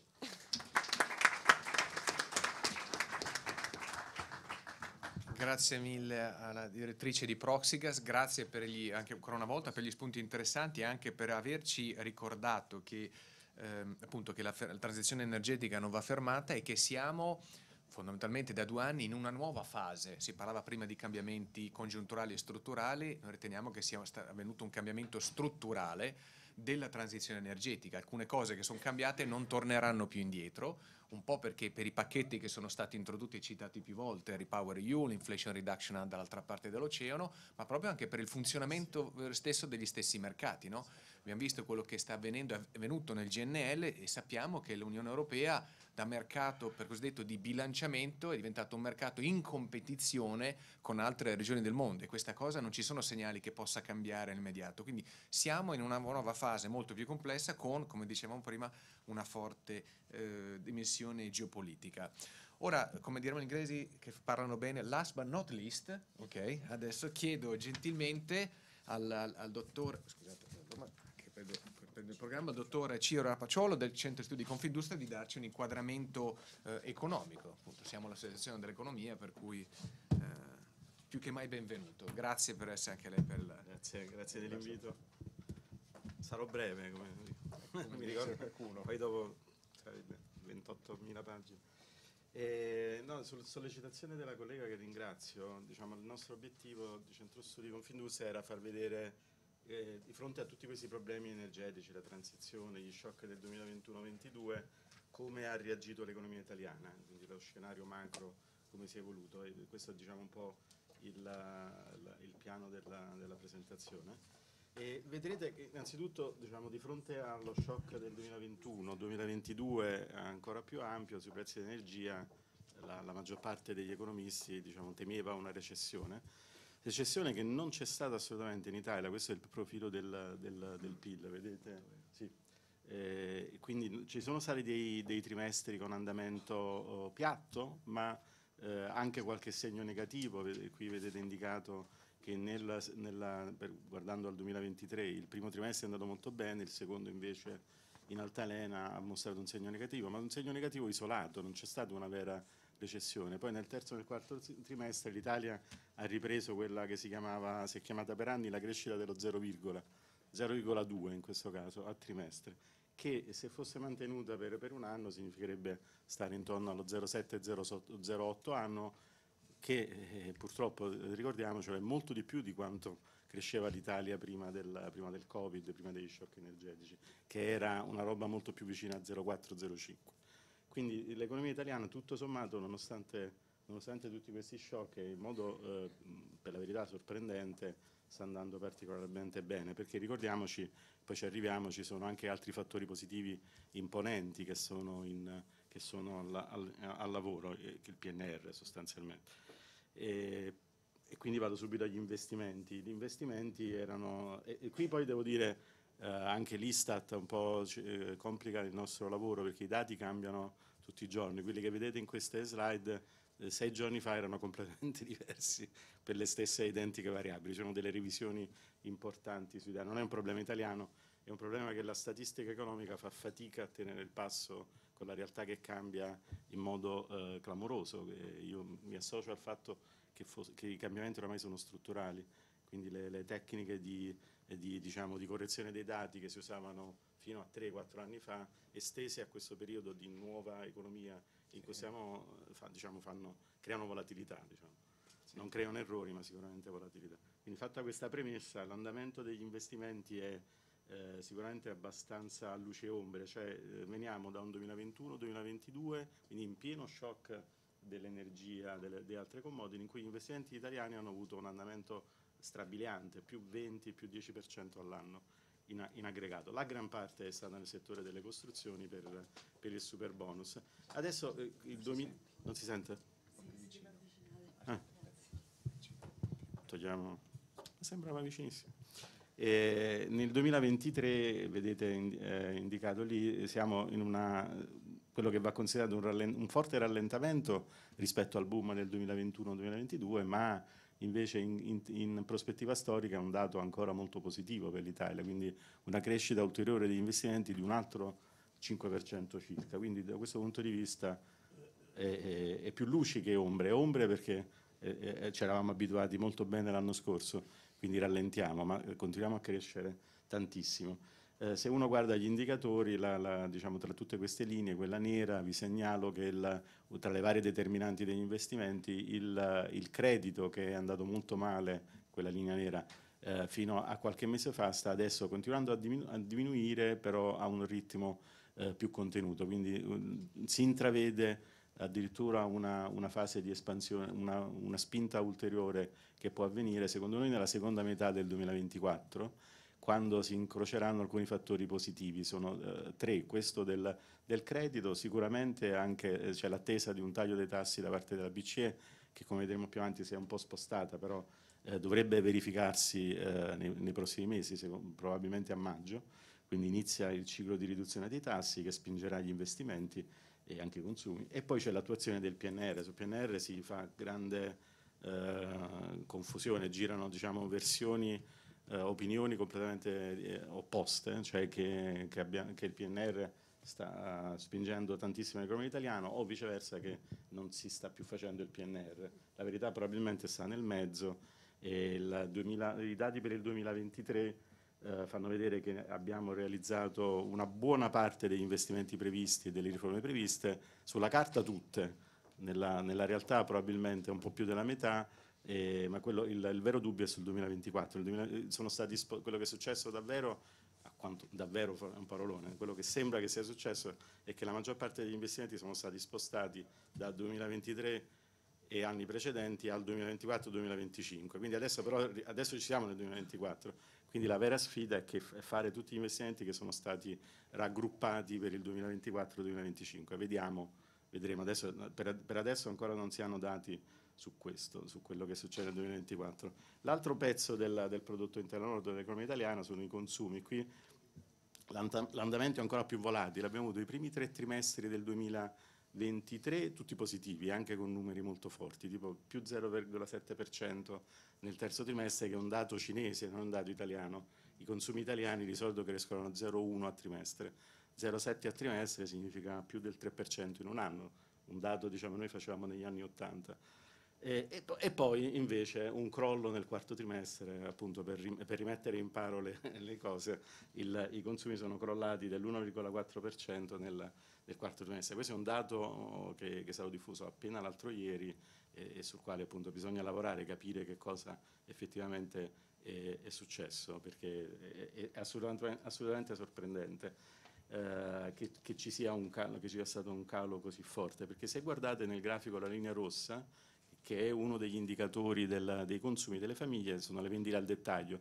E la gran parte dei consumi, mancano i consumi dei servizi, però è la gran parte dei consumi di beni. E qui vedete che probabilmente si era, si era fermato quasi il, il, calo che si è visto nel corso del 2022-2023, quindi sul finire del 2023 non ci si aspettava un crollo così importante, è molto probabile che sia soprattutto un crollo di consumi dei servizi e, e, e, quindi che dei che, che invece erano, era la parte dell'economia che stava tirando di più. Consumi di servizi in, in questa situazione eh, diciamo strana post-Covid significa soprattutto spese fuori casa. E quindi quando mangio a casa sono consumi di beni, quando vado al ristorante sono consumi di servizi. Siccome siamo stati diciamo, chiusi in casa per circa due anni e siamo stati costretti a fare consumi di beni in passato, adesso stavano rimbalzando fortemente i consumi di servizi. Quindi questo crollo nel, di consumi di servizi nel quarto trimestre eh, diciamo, lascia particolarmente perplessi. Eh, anche perché gli indicatori, se vedete poi la linea, la linea blu, che è la fiducia delle, la fiducia delle famiglie, erano particolarmente diciamo, incoraggianti, non, non siamo a livelli di, di boom economico, però c'era una risalita che inizia proprio nel quarto trimestre e che è proseguita a gennaio-febbraio, quindi l'indicazione di, di, solito appunto si parlava prima di un indicatore del, del, dell'industria che i consumi elettrici non sono più un buon indicatore della, anche qui succedono cose strane. Probabilmente a quanto pare la fiducia delle famiglie non è più era il migliore indicatore dei consumi delle famiglie fino a prima del covid probabilmente ha smesso di funzionare così bene. Un'altra cosa importante è che la, sul, sul, reddito delle famiglie, diciamo, le famiglie hanno sempre per la, la, la questione eh, chiusi dentro casa nel, nel Covid c'è stato un, un, risparmio forzoso importante, cioè il, il tasso di risparmio come percentuale del reddito disponibile delle famiglie nel 2020-2021 ha raggiunto dei massimi storici, diciamo, al, eh, completamente fuori da qualsiasi modello di, di economia, di, di, microeconomia, cioè non, cioè non, era chiaramente un comportamento eh, ottimale, era un comportamento eh, forzato, non, non, scelto. E questa cosa ha portato ad accumulare una quantità di risparmio, proprio uno stock di risparmio extra imponente, le stime sono abbastanza varie, ma si parla di decine e decine di miliardi. Questa cosa è un'eredità della, della, della crisi Covid nella quale c'è stata la recessione perché i consumi appunto sono crollati e eh, ce, la siamo, ce, la siamo, trovata come eredità positiva nella, nella, nello shock del 2022-2023. Questo è uno dei, dei, fattori insieme al PNR che spiega perché non siamo andati in recessione nel 2022-2023, perché le famiglie hanno potuto attingere, non tutte le famiglie purtroppo, alcune famiglie, ma una, una, in misura consistente, hanno potuto attingere a quelle risorse che avevano messo da parte per forza, non per scelta, e hanno potuto finanziare i consumi anche quando i prezzi dell'energia sono, si sono moltiplicati di 5-6 volte. Questo, diciamo, eh, tra gli economisti c'è un po' di dibattito su questa cosa, soprattutto sul fatto che questo fenomeno è avvenuto, alcuni dicono che già si è, eh, si è esaurito, perché quella montagna di extra risparmio potrebbe essersi esaurita, altri invece sono ancora un po' più ottimisti, ritengono che questo fattore positivo ci potrà aiutare anche nel, 2000, nel 2024. Noi forse siamo più nel primo gruppo, cioè di quelli un po' più pessimisti, però magari ci sbagliamo. Eh, questa slide qui vi fa vedere questa, diciamo, un'immagine sul boom del, dei servizi di cui parlavamo. Qui nel grafico vedete il turismo di stranieri in Italia, il, il, il, normal sarebbe quella linea tratteggiata che è il 2019, se guardiamo il 2018 è identica, o il 2017 uguale, erano dei fenomeni molto stabili. Poi improvvisamente col Covid vedete che crolla la, la linea rossa, l'abbiamo messa apposta, appositamente in rosso perché segnala allarme, il, il, turismo si era praticamente azzerato in tutti i mesi tranne che a luglio-agosto, perché se vi ricordate a luglio-agosto al di là delle, delle cose mediche era stato consentito di uscire di casa per questo motivo, diciamo per non azzerare il turismo. E, e, poi invece questa riga piano piano che il Covid finalmente ci ha lasciato più tranquilli è, è, è ripresa e, e, non si è fermata, il punto qual è che non si è fermata al recuperare la linea tratteggiata nera ma l'ha superata abbondantemente, clamorosamente in modo del tutto inaspettato, quindi è un po' come se fosse, qui probabilmente c'è della irrazionalità, cioè un comportamento irrazionale non massimizzante dei consumatori, cioè si, tipo una molla, sono, mi hai talmente costretto a stare in casa e non potevo andare neanche nel borgo che stava a, a 50 metri, a 50 chilometri e a questo punto vado, faccio tutti i viaggi possibili e immaginabili in tutte le parti del, del globo e per fortuna molta gente sceglie di venire in Italia il dato di, quindi del 2023 è di, di, tante, di, tanti miliardi superiori a quello diciamo, normale. Qui vedete una, la, la stima Banca d'Italia dice che siamo arrivati a sfiorare i 52 miliardi di euro, mentre prima ne facevamo 44. Questi sono soldi stranieri che arrivano in Italia grazie al turismo, turismo che è sostanzialmente il primo settore dell'economia italiana, questa è sostanzialmente la verità, si dice poco, eh, credo abbia superato vari settori come l'alimentare, la meccanica, quindi parliamo di, una, di, un, di, una, di, un, fenomeno grosso. Per fortuna non abbiamo solo turismo, abbiamo tanta industria e tanti altri servizi, però il turismo è, è stato sicuramente uno dei motori, uno dei motivi per cui non siamo andati in recessione nel 2022 e 2023. Che succede invece all'industria? L'industria italiana che è eh, ancora la seconda in Europa, ancora la, la, il settore industriale più diversificato di Europa, molto più della Germania, eh, però è in, è in, sofferenza. La produzione industriale è quella linea rossa, vedete che eh, qui l'abbiamo messa eh, a partire da gennaio 2021, ma se, se, vedreste, se vedesse il grafico dal 2019 quel picco che sta all'inizio del 2022 aveva recuperato i livelli pre-crisi, quindi eravamo tutti tranquilli che l'industria italiana aveva recuperato lo shock eh, post-Covid e, e, e, poi invece è crollata di nuovo di circa come si vede nel grafico, 7-8 punti percentuali, che è in, due, in, meno di due anni, quindi diciamo si può parlare di un vero e proprio crollo, con qualche oscillazione, piano piano ci, si accendevano delle speranze, ma diciamo, eh, poi è andata giù, eh, sembra essersi, dal punto di vista più congiunturale, sembra essersi stabilizzata, potrebbe, ci sono dei segnali che dicono, qui l'abbiamo messo con un punto interrogativo, secondo me dovuto ancora, che forse siamo alla fine del calo e che c'è qualcosa, non, non vediamo una, una, ripresa, però forse una fine, una fine del calo c'è. Ci sono vari indicatori, uno l'abbiamo sviluppato noi ultimamente, non so se l'avete sentito, questo chiamato RTT, l'acronimo a tre lettere sembra che, che funzioni bene sui giornali. Questo RTT che è sostanzialmente il fatturato delle imprese preso da fatturazione elettronica, diciamo in due, in due, parole sintetizzato, corretto per i prezzi, corretto per la stagionalità e tante altre cose, eh, ci dice che, che il fatturato dell'industria negli ultimi mesi, eh, negli ultimi mesi dell'anno 2023, poi abbiamo anche il dato di gennaio, eh, era, era in recupero, quindi quando il fatturato comincia ad aumentare, se questo indicatore ci dice le, le, cose corrette, a un certo punto la produzione dovrebbe, dovrebbe andargli dietro perché in mezzo ci sono le scorte che non possono aumentare il fatturato senza produzione, non è assolutamente possibile, quindi prima o poi dovrebbe probabilmente ripartire, ma poi dopo, come vi dico tra un attimo, il RTT ci ha detto che a gennaio è di nuovo eh, è, è, sceso il fatturato totale, anche se continua a aumentare quello, quello dell'industria. Un altro indicatore che eh, probabilmente conoscete questo PMI, ci dice invece una cosa leggermente più pessimista, questo è, è, è, disegnato in modo che se arriva a 50 vuol dire che sei in stagnazione, sta, eh, sta risalendo da sotto 50 eh, sempre di più, però, ancora, però, è ancora sotto, quindi questo, quest'altro indicatore segnala che si sta attenuando il calo dell'industria non ancora che non è ancora finita. Un'altra indagine che fa sempre, sto facendo un po' di pubblicità al centro studio Confinusa con la vostra, un'altra indagine che abbiamo eh, rilanciato proprio da, da, pochissimo, questa indagine che chiamiamo rapida perché è un omaggio al vecchio presidente Cipolletta, eh, al, eh, direttore del centro studi.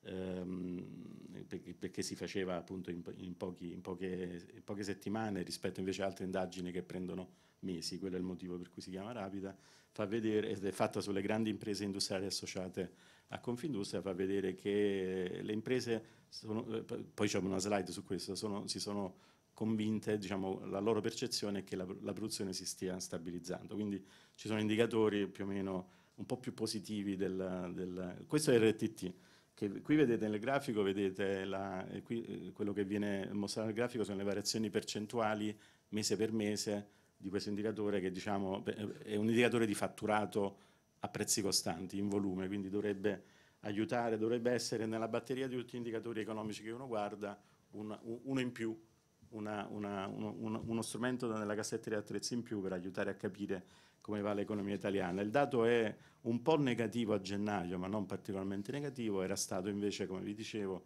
abbastanza buono nei mesi precedenti, in particolare per l'industria a gennaio è, è, positivo e anche per quanto riguarda i servizi, quindi diciamo, c'è qualche indicazione di, di, recupero. Poi ci sono anche indicazioni per, per, le regioni o per le classi dimensionali, ma diciamo, non sono particolarmente utili nello scenario uh, stiamo, di cui stiamo parlando qui.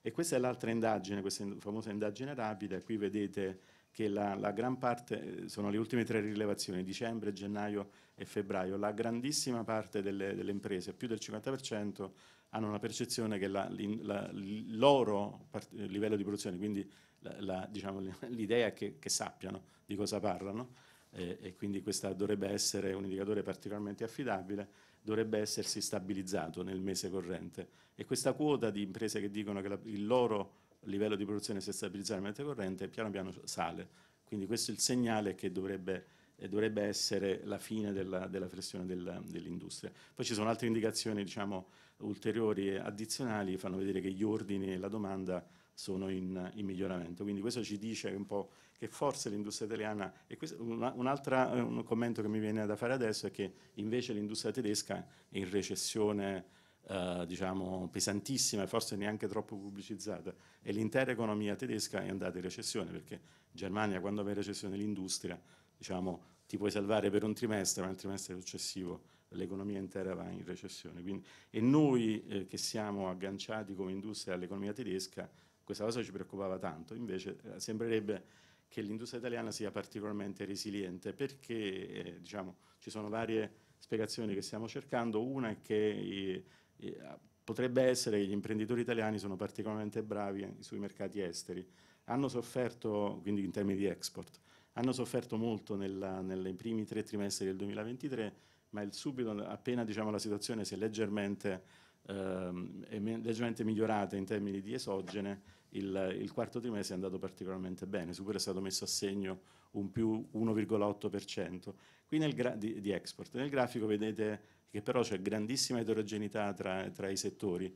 E, e in orizzontale è misurato appunto l'export, in, in verticale la produzione industriale. Ci sono solo tre settori questi sono gli Ateco a due digit, quindi non, non in particolare dettaglio, sono i, i, circa poco più di 10 settori a due, a due digit. Vedete che solamente macchinari impianti, che è il settore più importante dell'industria italiana, le apparecchiature elettriche e i mezzi di trasporto cari alla nostra vita, sono, sono, i settori che stanno andando, che sono nel quadrante buono, cioè di aumento dell'export e di aumento della, della produzione. Altri settori vanno particolarmente male. Non a caso vi segnalo, stiamo parlando in tema di energia, che i settori che, diciamo, che sono noti per essere energivori stanno nel quadrante brutto, sono nel quadrante in basso a sinistra, quindi che perdono sia in termini di produzione sia in termini di export. E questo può, diciamo, è un tentativo di risposta anche alla domanda della, della, della collega che diceva se ricordo bene, eh, come si spiega il calo, oramai già due anni di calo della, del consumo di gas nell'industria.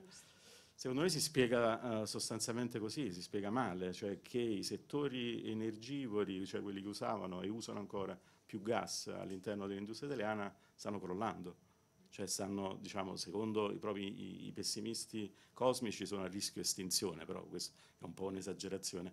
Però vedete che per esempio la metallurgia il, la carta stampa, la gomma plastica eh, registrano dei cali della produzione tra il meno 5 e il meno 10 all'anno. Tra il meno 5 e il meno 10 all'anno, quindi se, se, questa cosa continuasse chiaramente eh, il rischio di estinzione secondo me è eccessivo, però un forte ridimensionamento senz'altro. E quindi questo potrebbe spiegare quindi mh, po- poca efficienza energetica se questa lettura se questa lettura è vera. Probabilmente efficienza energetica c'è, ma il grosso potrebbe essere invece una, una, una cosa negativa, cioè la, la, riduzione proprio del consumo perché si riduce proprio il settore. E poi non so se avete visto sui giornali, questa è una cosa a cui teniamo molto anche, che la, si parla sempre della, di questo pazzo o di questo rebus, del fatto che non si capisce perché l'occupazione continua a crescere e il PIL, dicono i giornali, invece diminuisce. Poi abbiamo visto invece che non è vero anzitutto. Quindi la prima cosa è che il PIL non è mai diminuito e continua a crescere per quanto lentamente. L'occupazione eh, che qui è, vedete indicata la linea rossa, cresce, eh, diciamo, eh, quello che sorprende è che cresce in modo più costante, eh, ma se poi voi andate, eh, non, non ce l'abbiamo qui nel grafico, ma se uno andasse a vedere come sono andati il PIL e l'occupazione dal 2019, quindi dal pre-Covid, quando tutto è iniziato, fino, fino a oggi, l'occupazione sta addirittura un po' sotto al PIL quindi la, la, il PIL è addirittura aumentato di più dell'occupazione rispetto al pre-Covid, quindi non c'è nessuna, nessuna stranezza, è semplicemente negli ultimi dati quando eh, si è creata soprattutto intorno al secondo terzo trimestre, quando sembrava che l'economia stesse rallentando particolarmente tanto, poi in realtà l'Istat ci ha fatto vedere che non era neanche vero, si era creata questa, questa discrepanza. Se c'è una discrepanza è semplicemente perché l'occupazione reagisce in modo più ritardato rispetto all'attività economica e mi sembra anche abbastanza ovvio perché l'imprenditore magari eh, sa se deve assumere o licenziare a, a, seconda di quello che ha fatto il trimestre precedente come, come attività economica. Un punto importante qua, che si ricollega alla questione dei consumi, è, la, è la, il problema dei salari, delle retribuzioni nominali che ci riguarda ovviamente tutti come famiglie. Quello che è successo è che la linea blu oh, piena delle retribuzioni nominali ha continuato a crescere, quindi le retribuzioni sono in crescita. Siccome però eh, il, lo shock energetico ha determinato uno shock sui prezzi al consumo, che sono la linea verde in alto, quasi, quella, quella linea che quasi esce dal grafico, quello è lo shock sui prezzi al consumo, cioè abbiamo un livello dei prezzi molto più alto, ovviamente le retribuzioni al netto dei prezzi sono crollate del, di, diciamo, di 7-8 punti percentuali. Nel corso del 2023 si sono, si sono, questo crollo diciamo, si è appiattito, si sono stabilizzate le retribuzioni reali e l'attesa è che nel 2024 possano, possano ripartire quando i prezzi probabilmente eh, rimarranno fermi e, e le retribuzioni nominali continueranno a crescere. Quindi par parlando di prezzi, questo ci porta diciamo, un'altra parte dell'economia, la parte monetaria dell'economia. Come è andata l'inflazione e che cosa succederà ai tassi? L'inflazione italiana, ovviamente non ci facciamo mancare mai niente, è stata quella che è cresciuta di più lo, con lo shock energetico, qui lo vedete l'Italia rispetto agli altri grandi paesi europei, ma viceversa questo ha anche una, un rimbalzo eh, positivo per noi perché adesso l'inflazione italiana, che era quella che era aumentata di più, a livello proprio aritmetico, questo non, non c'è niente di, di, spiegazione economica, a livello aritmetico adesso è quella che, che cresce di meno perché eh, appunto prima era proprio un fatto algebrico del, del, del, calcolo delle variazioni sui 12 mesi. Quando togli dal calcolo il, il picco, il, la variazione a 12 mesi ti si abbassa di più. E, e, quindi che succede? Che dal punto di vista dell'Italia eh, i tassi potrebbero già scendere, perché l'inflazione italiana è già ampiamente sotto questa famosa soglia del 2% che guardano le banche centrali. La, la, la Banca Centrale Europea però deve guardare anche l'inflazione degli altri paesi che, e quindi fare questa media che vedete qui è la linea rossa tratteggiata e, ed è evidente che eh, siccome l'inflazione aggregata Eurozona non, innanzitutto non sta sotto il 2% e, e, e poi ha, ha, smesso di scendere negli ultimi mesi, quindi sta mostrando un po' di volatilità poco sotto il 3%, il 3% allora è ovvio che la Banca Centrale Europea stia ragionando sulla, cioè sempre in mente, da quello che si capisce, il taglio dei tassi, perché i tassi che sono la linea rossa piena sono ai, ma ai massimi, non ai massimi storici ovviamente, ma ai massimi degli ultimi decenni, perché sono al, al 4,5. Il, quel, quello che si capisce guardando l'informazione che sta dentro i future sul, sui tassi di mercato eh, è che la Banca Centrale Europea avrebbe tagliato a febbraio, e sarebbe stata una cosa ottima per l'economia italiana, per le imprese e i consumatori, molto probabilmente taglierà a maggio, taglierà di pochissimo, 0,25 e poi piano piano, e poi piano piano darà un segnale poi piano piano diciamo, la direzione sarà... Ricordiamoci che fino a pochi mesi fa si parlava ancora, il dubbio era che continuassero, che continuassero ad alzare i tassi. Il, qui, perché mettiamo anche la, la, la, la, situazione americana? Perché purtroppo, diciamo, e questo dipende anche dalla globalizzazione delle economie, la, la, la, la BCE è diventata quella che gli economisti chiamano un follower, cioè che segue le decisioni del leader e il leader ovviamente è la Banca Centrale Americana. Il, il leader del, sui tassi di interesse ha, li ha stabilizzati negli ultimi mesi, non l'ha più alzati e quindi la BCE non l'ha più alzati. Se, eh, l'avrebbe fatto se la Fed avesse, avesse, alzato ancora. Quindi da questo punto di vista eh, la, l'attesa è buona, l'attesa è positiva perché i tassi scenderanno. Chiudo con questa, diciamo, non, non parlo del prezzo del petrolio perché Rita ha già detto tutto, noi vedevamo, però l'ha già spiegato lei, e quello che vedevamo qui era una, diciamo, un'altalenante risalita del prezzo del petrolio su livelli poi tutto sommato contenuti, ma quello che volevo sottolineare è dal punto di vista del commercio, ne avete anche già parlato in tanti prima, la chiusura di Suez, eh, do solamente un numero, il, il 90% degli scambi globali avviene via mare, un numero che personalmente mi ha sorpreso quando l'abbiamo trovato, e il 12% tramite Suez. Per l'Italia le percentuali sono molto diverse, 54 via mare perché la Germania che è il primo partner industriale sta, sta a nord via terra, quindi non commerciamo con la Germania via, via mare, quindi per, per l'Italia solo 54%, ma ben 40% di quel 54% è Suez, quindi la, in realtà eh, se, la, se, moltiplicate le due quote mondo e Italia arrivate alla stessa percentuale, cioè che Suez conta per un, un, un commercio di beni su 10, più o meno, un 10% circa. Quindi è questo che ha significato la chiusura di Suez, Un, uh, il fatto, come faceva vedere, credo la collega, la, le, le, rotte commerciali sono, sono, cambiate, si passa sotto il capo di Buona Speranza, come vedete da quelle percentuali, un meno forte e un più forte uh, su Suez e sul capo di Buona Speranza, e, ma soprattutto dal punto di vista dell'industria più 170% i noli commerciali. Questo non deve impressionare molto perché i noli commerciali sono una variabile particolarmente volatile che un giorno sale del 50% e il giorno dopo scende del 30%, quindi il più 170 potrebbe non essere, diciamo, potrebbe essere una, una, una, una variazione temporanea. Certo, se invece rimanesse lì per vari mesi sarebbe un problema serio per, per i prezzi, perché entrerebbe nei prezzi delle, delle materie e poi sarebbe un problema. Eh, potrebbe addirittura far rimandare ulteriormente il taglio dei tassi che dicevamo prima. Io penso di fermarmi qua, forse ho già sforato. Grazie. Grazie dottor Rapacciolo, a Confindustria, grazie, credo che fosse questo il modo giusto per chiudere, abbiamo visto la situazione su diversi vettori energetici, abbiamo chiuso col quadro economico, macroeconomico, dico solo che forse una variabile che dovremmo cominciare a prendere in seria considerazione è anche quello che sarà l'esito delle elezioni americane a fine anno, che ovviamente avrà un impatto su tutti i temi che abbiamo toccato stamattina, ma per questo ci rivediamo fra 12 mesi al prossimo convegno AIE e così potremo commentare. Grazie a tutti i relatori.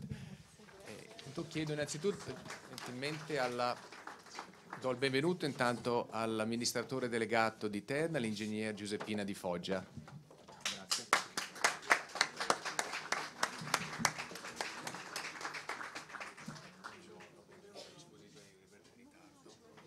Allora, non so dove le hanno messo.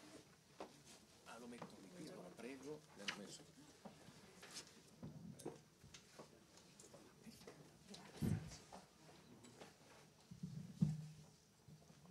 Eccoci qua. Ah, no, scusa, questo, vabbè, suo, mi prendo questo. Allora, ben- No, ma siamo in due, mi hanno dato tanti di quei compiti e quindi anch'io ho le, le mie note. Allora, ben trovati, siamo con la seconda, molto importante, diciamo la motivazione principale per il quale eh, abbiamo organizzato questo convegno. Eh, nel 2015 è stato introdotto a memoria del fondatore Edgardo Curcio il premio Energia Sostenibile, vi permetto di sottolineare la parola energia sostenibile, eh, all'interno dell'Associazione Economia dell'Energia, che è stata proprio fondata da Edgardo Curcio molti anni fa. E questo è una cosa buona per chi come me fa economia da tanti anni e si occupa di energia da tanti anni perché ha dato un po' una casa, no? agganciandosi, quindi se chi, se chi come, um, come, me fa economia e si occupa di energia è sempre, allora gli economisti ti dicono non capisci niente perché l'energia è una roba di nicchia, le altre robe importanti sono altre, gli ingegneri ti dicono non capisci niente di come funziona l'energia, quindi finalmente abbiamo avuto la nostra casa, stiamo lì eh, buoni buoni e cerchiamo di fare il nostro mestiere, quindi grazie al buon Edgardo Curcio. Quindi da qualche anno abbiamo questo premio Energia Sostenibile che negli anni è stato eh, assegnato da, a diversi personaggi dell'industria, eh, ma anche dell'Agenzia Internazionale dell'Energia, ehm, dell'industria non solo energetica ma anche l'industria pesante come abbiamo visto l'anno scorso.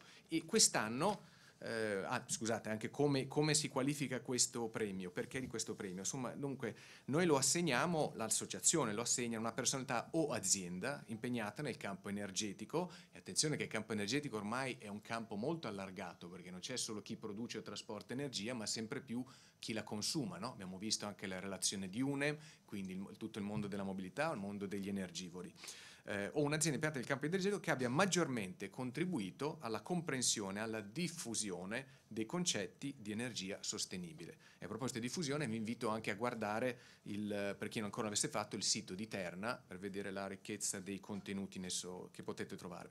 Lo scopo del premio è di incoraggiare la conoscenza di tutte le forme di energia sostenibile per il nostro Paese, siamo un'associazione italiana, tenendo conto della crescita economica, di cui abbiamo parlato pochi minuti fa, della necessità di sicurezza degli approvvigionamenti, che ormai è il tema quasi dominante insieme alla decarbonizzazione, della difesa dell'ambiente, della stabilità del clima, la vera emergenza, e in generale dell'innovazione di cui tanto abbiamo bisogno nei sistemi energetici a partire proprio dalle nostre reti. Dico nostre perché sono nostre e sono una ricchezza del Paese.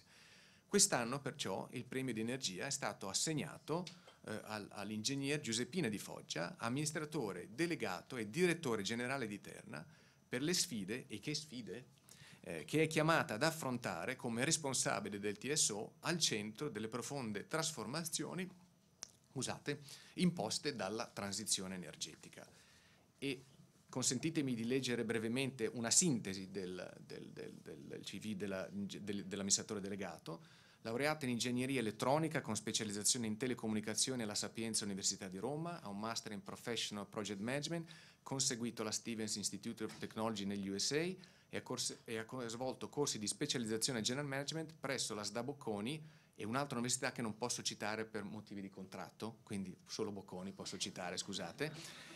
Eh, Cavaliere del Lavoro della Repubblica nel 21 per il suo impegno in ambito tecnologie, informazione e comunicazione, nello stesso anno inserita nella rivista Forbes Italia tra le 100 personalità femminili che si sono contraddistinte per impegno, tenace e competenza.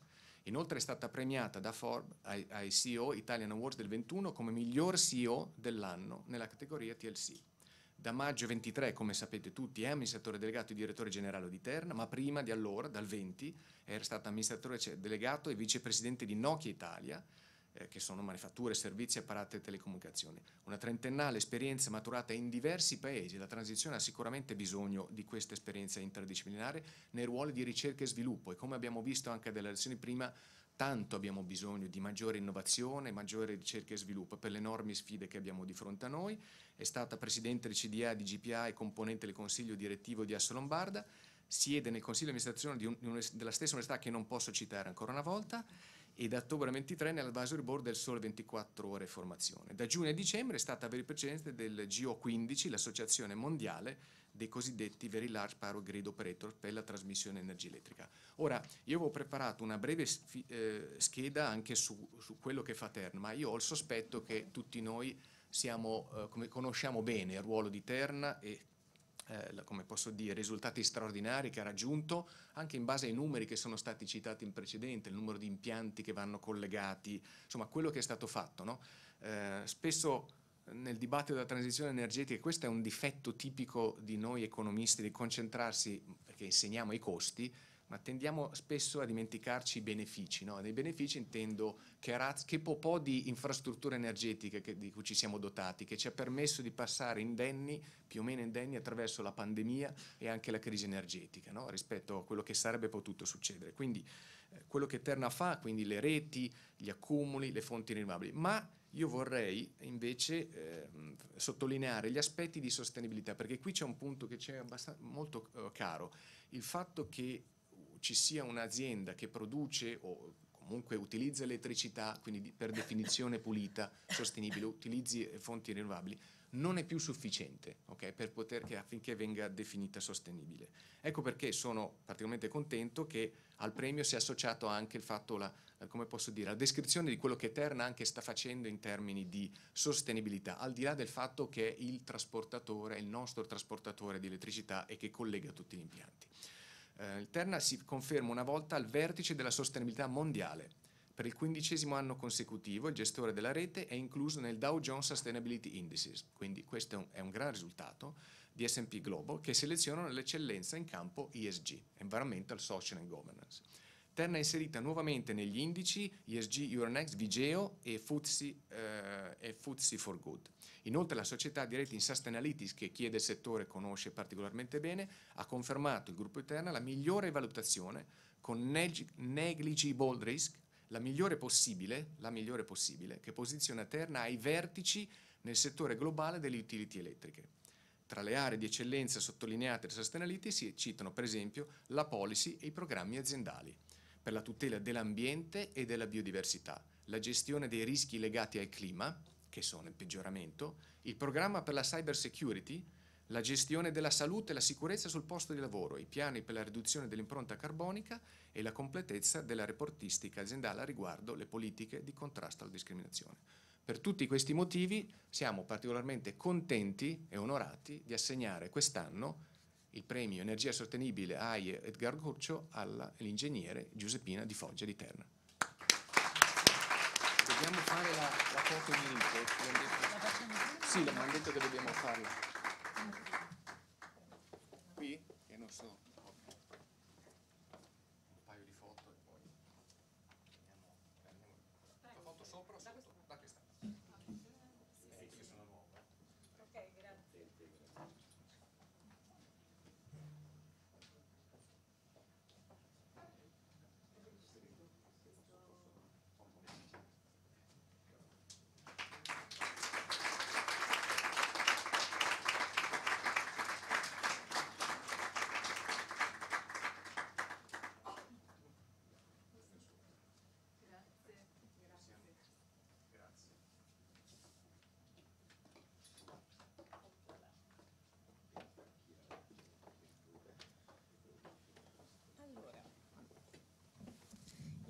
Aiuterò con delle note anche per essere un po' più concisa e, e, soprattutto perché poi fra qualche giorno presenteremo il piano industriale, quindi presa dalla, dalle parole che mi potrebbero dare il gancio per N, non voglio, eh, non posso più che non voglio anticipare molto. Innanzitutto ringrazio chiaramente il Presidente Matteo Di Castelnuovo per questo riconoscimento che accetto con molto piacere pensando appunto non tanto all'anno passato quanto a quello in corso e al prossimo futuro. Naturalmente ehm, lo condivido perché ho in mente l'impegno profuso dalle quasi 6.000 persone di Terna che ogni giorno nel nostro paese e all'estero lavorano tenendo bene a mente la sostenibilità, intesa nella sua accezione più ampia di attenzione all'ambiente e alla società. Come è appunto è stato detto, Terna è il gestore della rete di trasmissione di energia elettrica italiana. Siamo in mezzo a chi produce e a chi distribuisce, quindi per semplificare. Nel presente garantendo al Paese un sistema elettrico efficiente, sicuro e accessibile a tutti, questo è fondamentale, contemporaneamente nel futuro progettando reti pronte a trasmettere le fonti rinnovabili e contribuendo così alla sostenibilità ambientale. La sostenibilità, come, come, si diceva prima, nel nostro DNA rappresenta un elemento costitutivo del lavoro che svolgiamo e una responsabilità che sentiamo forte. La misuriamo con un approccio sistematico vincolato ad obiettivi, e questo sarà chiaro nel piano anche, adottando indicatori qual, quant, oplala, tutto a posto, quantitativi, questo è fondamentale, e tempistiche definite, perché vogliamo che la transizione sia anche equa, quella che in un termine definiamo come just transition. Era stato prima menzionato anche il tema dell'innovazione e della digitalizzazione, infatti, e, e poi mi fermo qui sul piano, nel, nel, piano industriale parleremo di una twin transition perché io sono fortemente convinta che non possa eh, esserci una transizione energetica se le nostre infrastrutture non evolvono e non c'è quindi una evoluzione digitale, ma allo stesso tempo ci dobbiamo assicurare che la transizione sia giusta, sia equa e per questo parleremo di una twin transition for a just transition e poi mi fermo qui perché altrimenti vado oltre quello che devo. Io vengo da un settore, come è stato ricordato, che è quello delle telecomunicazioni, in cui uno dei problemi più annosi e non ancora risolto purtroppo, eh, che ho spesso discusso, è quello del digital divide. Ce ne siamo ricordati anche e soprattutto lo abbiamo notato durante il periodo del Covid, ovvero dell'esclusione di interi territori e fasce della popolazione dall'accesso alla larga banda, che comporta anche e non solo, aggiungerei, l'impossibilità a connettersi alla rete esclusione che significa in queste aree anche non solo, lo ripeto, l'impossibilità di aprire un'impresa, perché nessuna azienda potrebbe sopravvivere ed essere competitiva senza connettersi alla rete con la necessaria qualità. E, e quando ero in un'azienda appunto che si occupava di costruire le reti per il nostro paese, per tutti gli operatori, per tutte le utilities, io sentivo molto e sottolineavo questo problema. Ebbene, adesso che eh, gestisco una, un'azienda così cruciale per il trasporto dell'energia, penso che nel mondo dell'energia non è proprio possibile immaginare una forma qualunque di esclusione non è compatibile proprio con la vita, l'energia deve essere disponibile per tutti in ogni momento. Ecco perché ogni intervento di Terna deve garantire che i costi delle opere abbiano un impatto sul sistema paese sostenibile per l'intera popolazione. Ecco cosa intendo con equità e sostenibilità. Ecco cosa voglio dire con il termine just transition che sarà sottolineato anche di fronte agli analisti. Mi scuso per l'acqua, ma voglio aggiungere qualcosa che non, volevo, che non era previsto dicessi, giusto per darvi un'idea, perché quello che facciamo ha anche se minimo un impatto sulla bolletta degli italiani. No? Tutti dicono sì, ma queste opere, queste opere. Però noi possiamo intervenire con delle ottimizzazioni e anche se il nostro lavoro, le nostre infrastrutture pesano sulle bollette per una percentuale che va dal 5 al 10%, e negli ultimi tempi abbiamo eh, apportato anche e non solo con l'uso della digitalizzazione e delle ottimizzazioni nei servizi di dispacciamento che hanno portato l'impatto eh, sulla uh, bolletta a, a, a minimizzare diciamo, il nostro costo e, lo, e ve lo dico con i numeri. Mediamente fino al 2022 il, i nostri lavori, mettiamoli così, costavano eh, dagli 8 ai 10 euro al megawattora. Significa vedere una curva che faceva così, in, con ascisse, sulle ascisse il tempo. Grazie a queste ottimizzazioni nel 2023 siamo andati, c'è stato un picco in basso, quindi abbiamo, il nostro peso è stato di 1,5 euro al megawattora e non ci siamo fermati. A inizio anno, il primo trimestre, anno corrente, si misura 0,75 euro al megawattora. Per darvi un altro numero, questo è significato nel 2023 con quell'uno circa 1,5 euro al megawattora aver fatto risparmiare 2, bilioni, 2 miliardi di euro agli italiani sulle bollette. Quindi questo secondo me con i numeri è quello che possiamo fare per rendere sostenibile anche il nostro investimento e questo lo facciamo anche e non solo grazie all'utilizzo della digitalizzazione. Non voglio entrare ora, l'ho detto che dovevo attenermi alle carte altrimenti vado oltre i tempi. E comunque negli ultimi mesi Terna ha raggiunto diversi traguardi e vorrei citare appunto uno dei più importanti perché ha un peso su quello che realizzeremo per la, la, la transizione energetica, quindi avrà impatto sulla sostenibilità. Il record di autorizzazioni nel 2023, cioè oltre 3 miliardi di euro, significa il 20% di più di opere che sono state autorizzate rispetto all'anno precedente, significa 23 opere su tutto il territorio nazionale pronte ad essere realizzate, come il Tirrenian Link, un'opera di 3,7 miliardi di investimento per realizzare un collegamento che consentirà di unire Sicilia, Sardegna e Campania, tra l'altro un eh, un'opera che utilizzerà in parte anche il PNRR.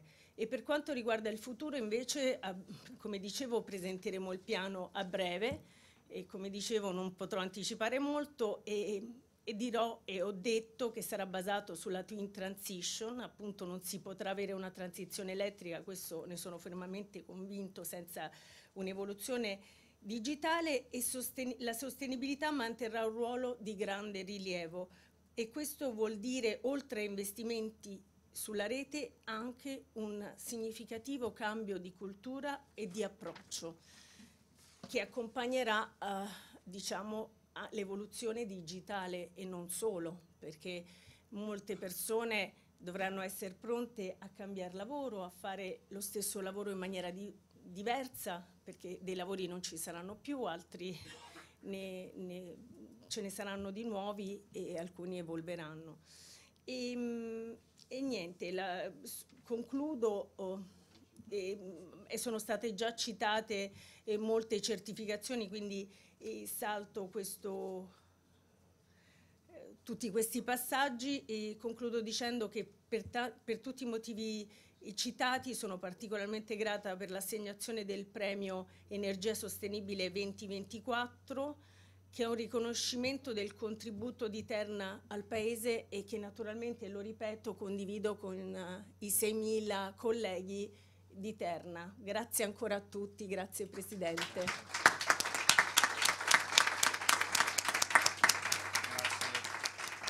Grazie ancora, solo una breve nota di se per quanto apprezzato il riferimento al cambio di cultura e di approccio dal momento che per mestiere faccio quello di insegnare alle nuove generazioni all'università, questo è, una, è un eh, punto fondamentale che loro capiscano quello che è il cambiamento in atto rispetto che possono essere i paradigmi con i quali sono cresciuti io, quindi estremamente importante, con il denominatore comune della sostenibilità. Grazie veramente Grazie a voi. a voi. Grazie. Abbiamo un coffee break di 30 minuti e poi riprendiamo alle mezzogiorno con la tavola. Ringrazio l'ingegner Bortoni che coordina la tavola. Grazie a tutti. Grazie. Le forti saluti di Ernesto Ciorra, che è un amico comune, un caro amico. Sì, sì, sì, sì. scritto No, adesso- Tra l'altro lui conosce bene anche benissimo l'azienda dove stavo.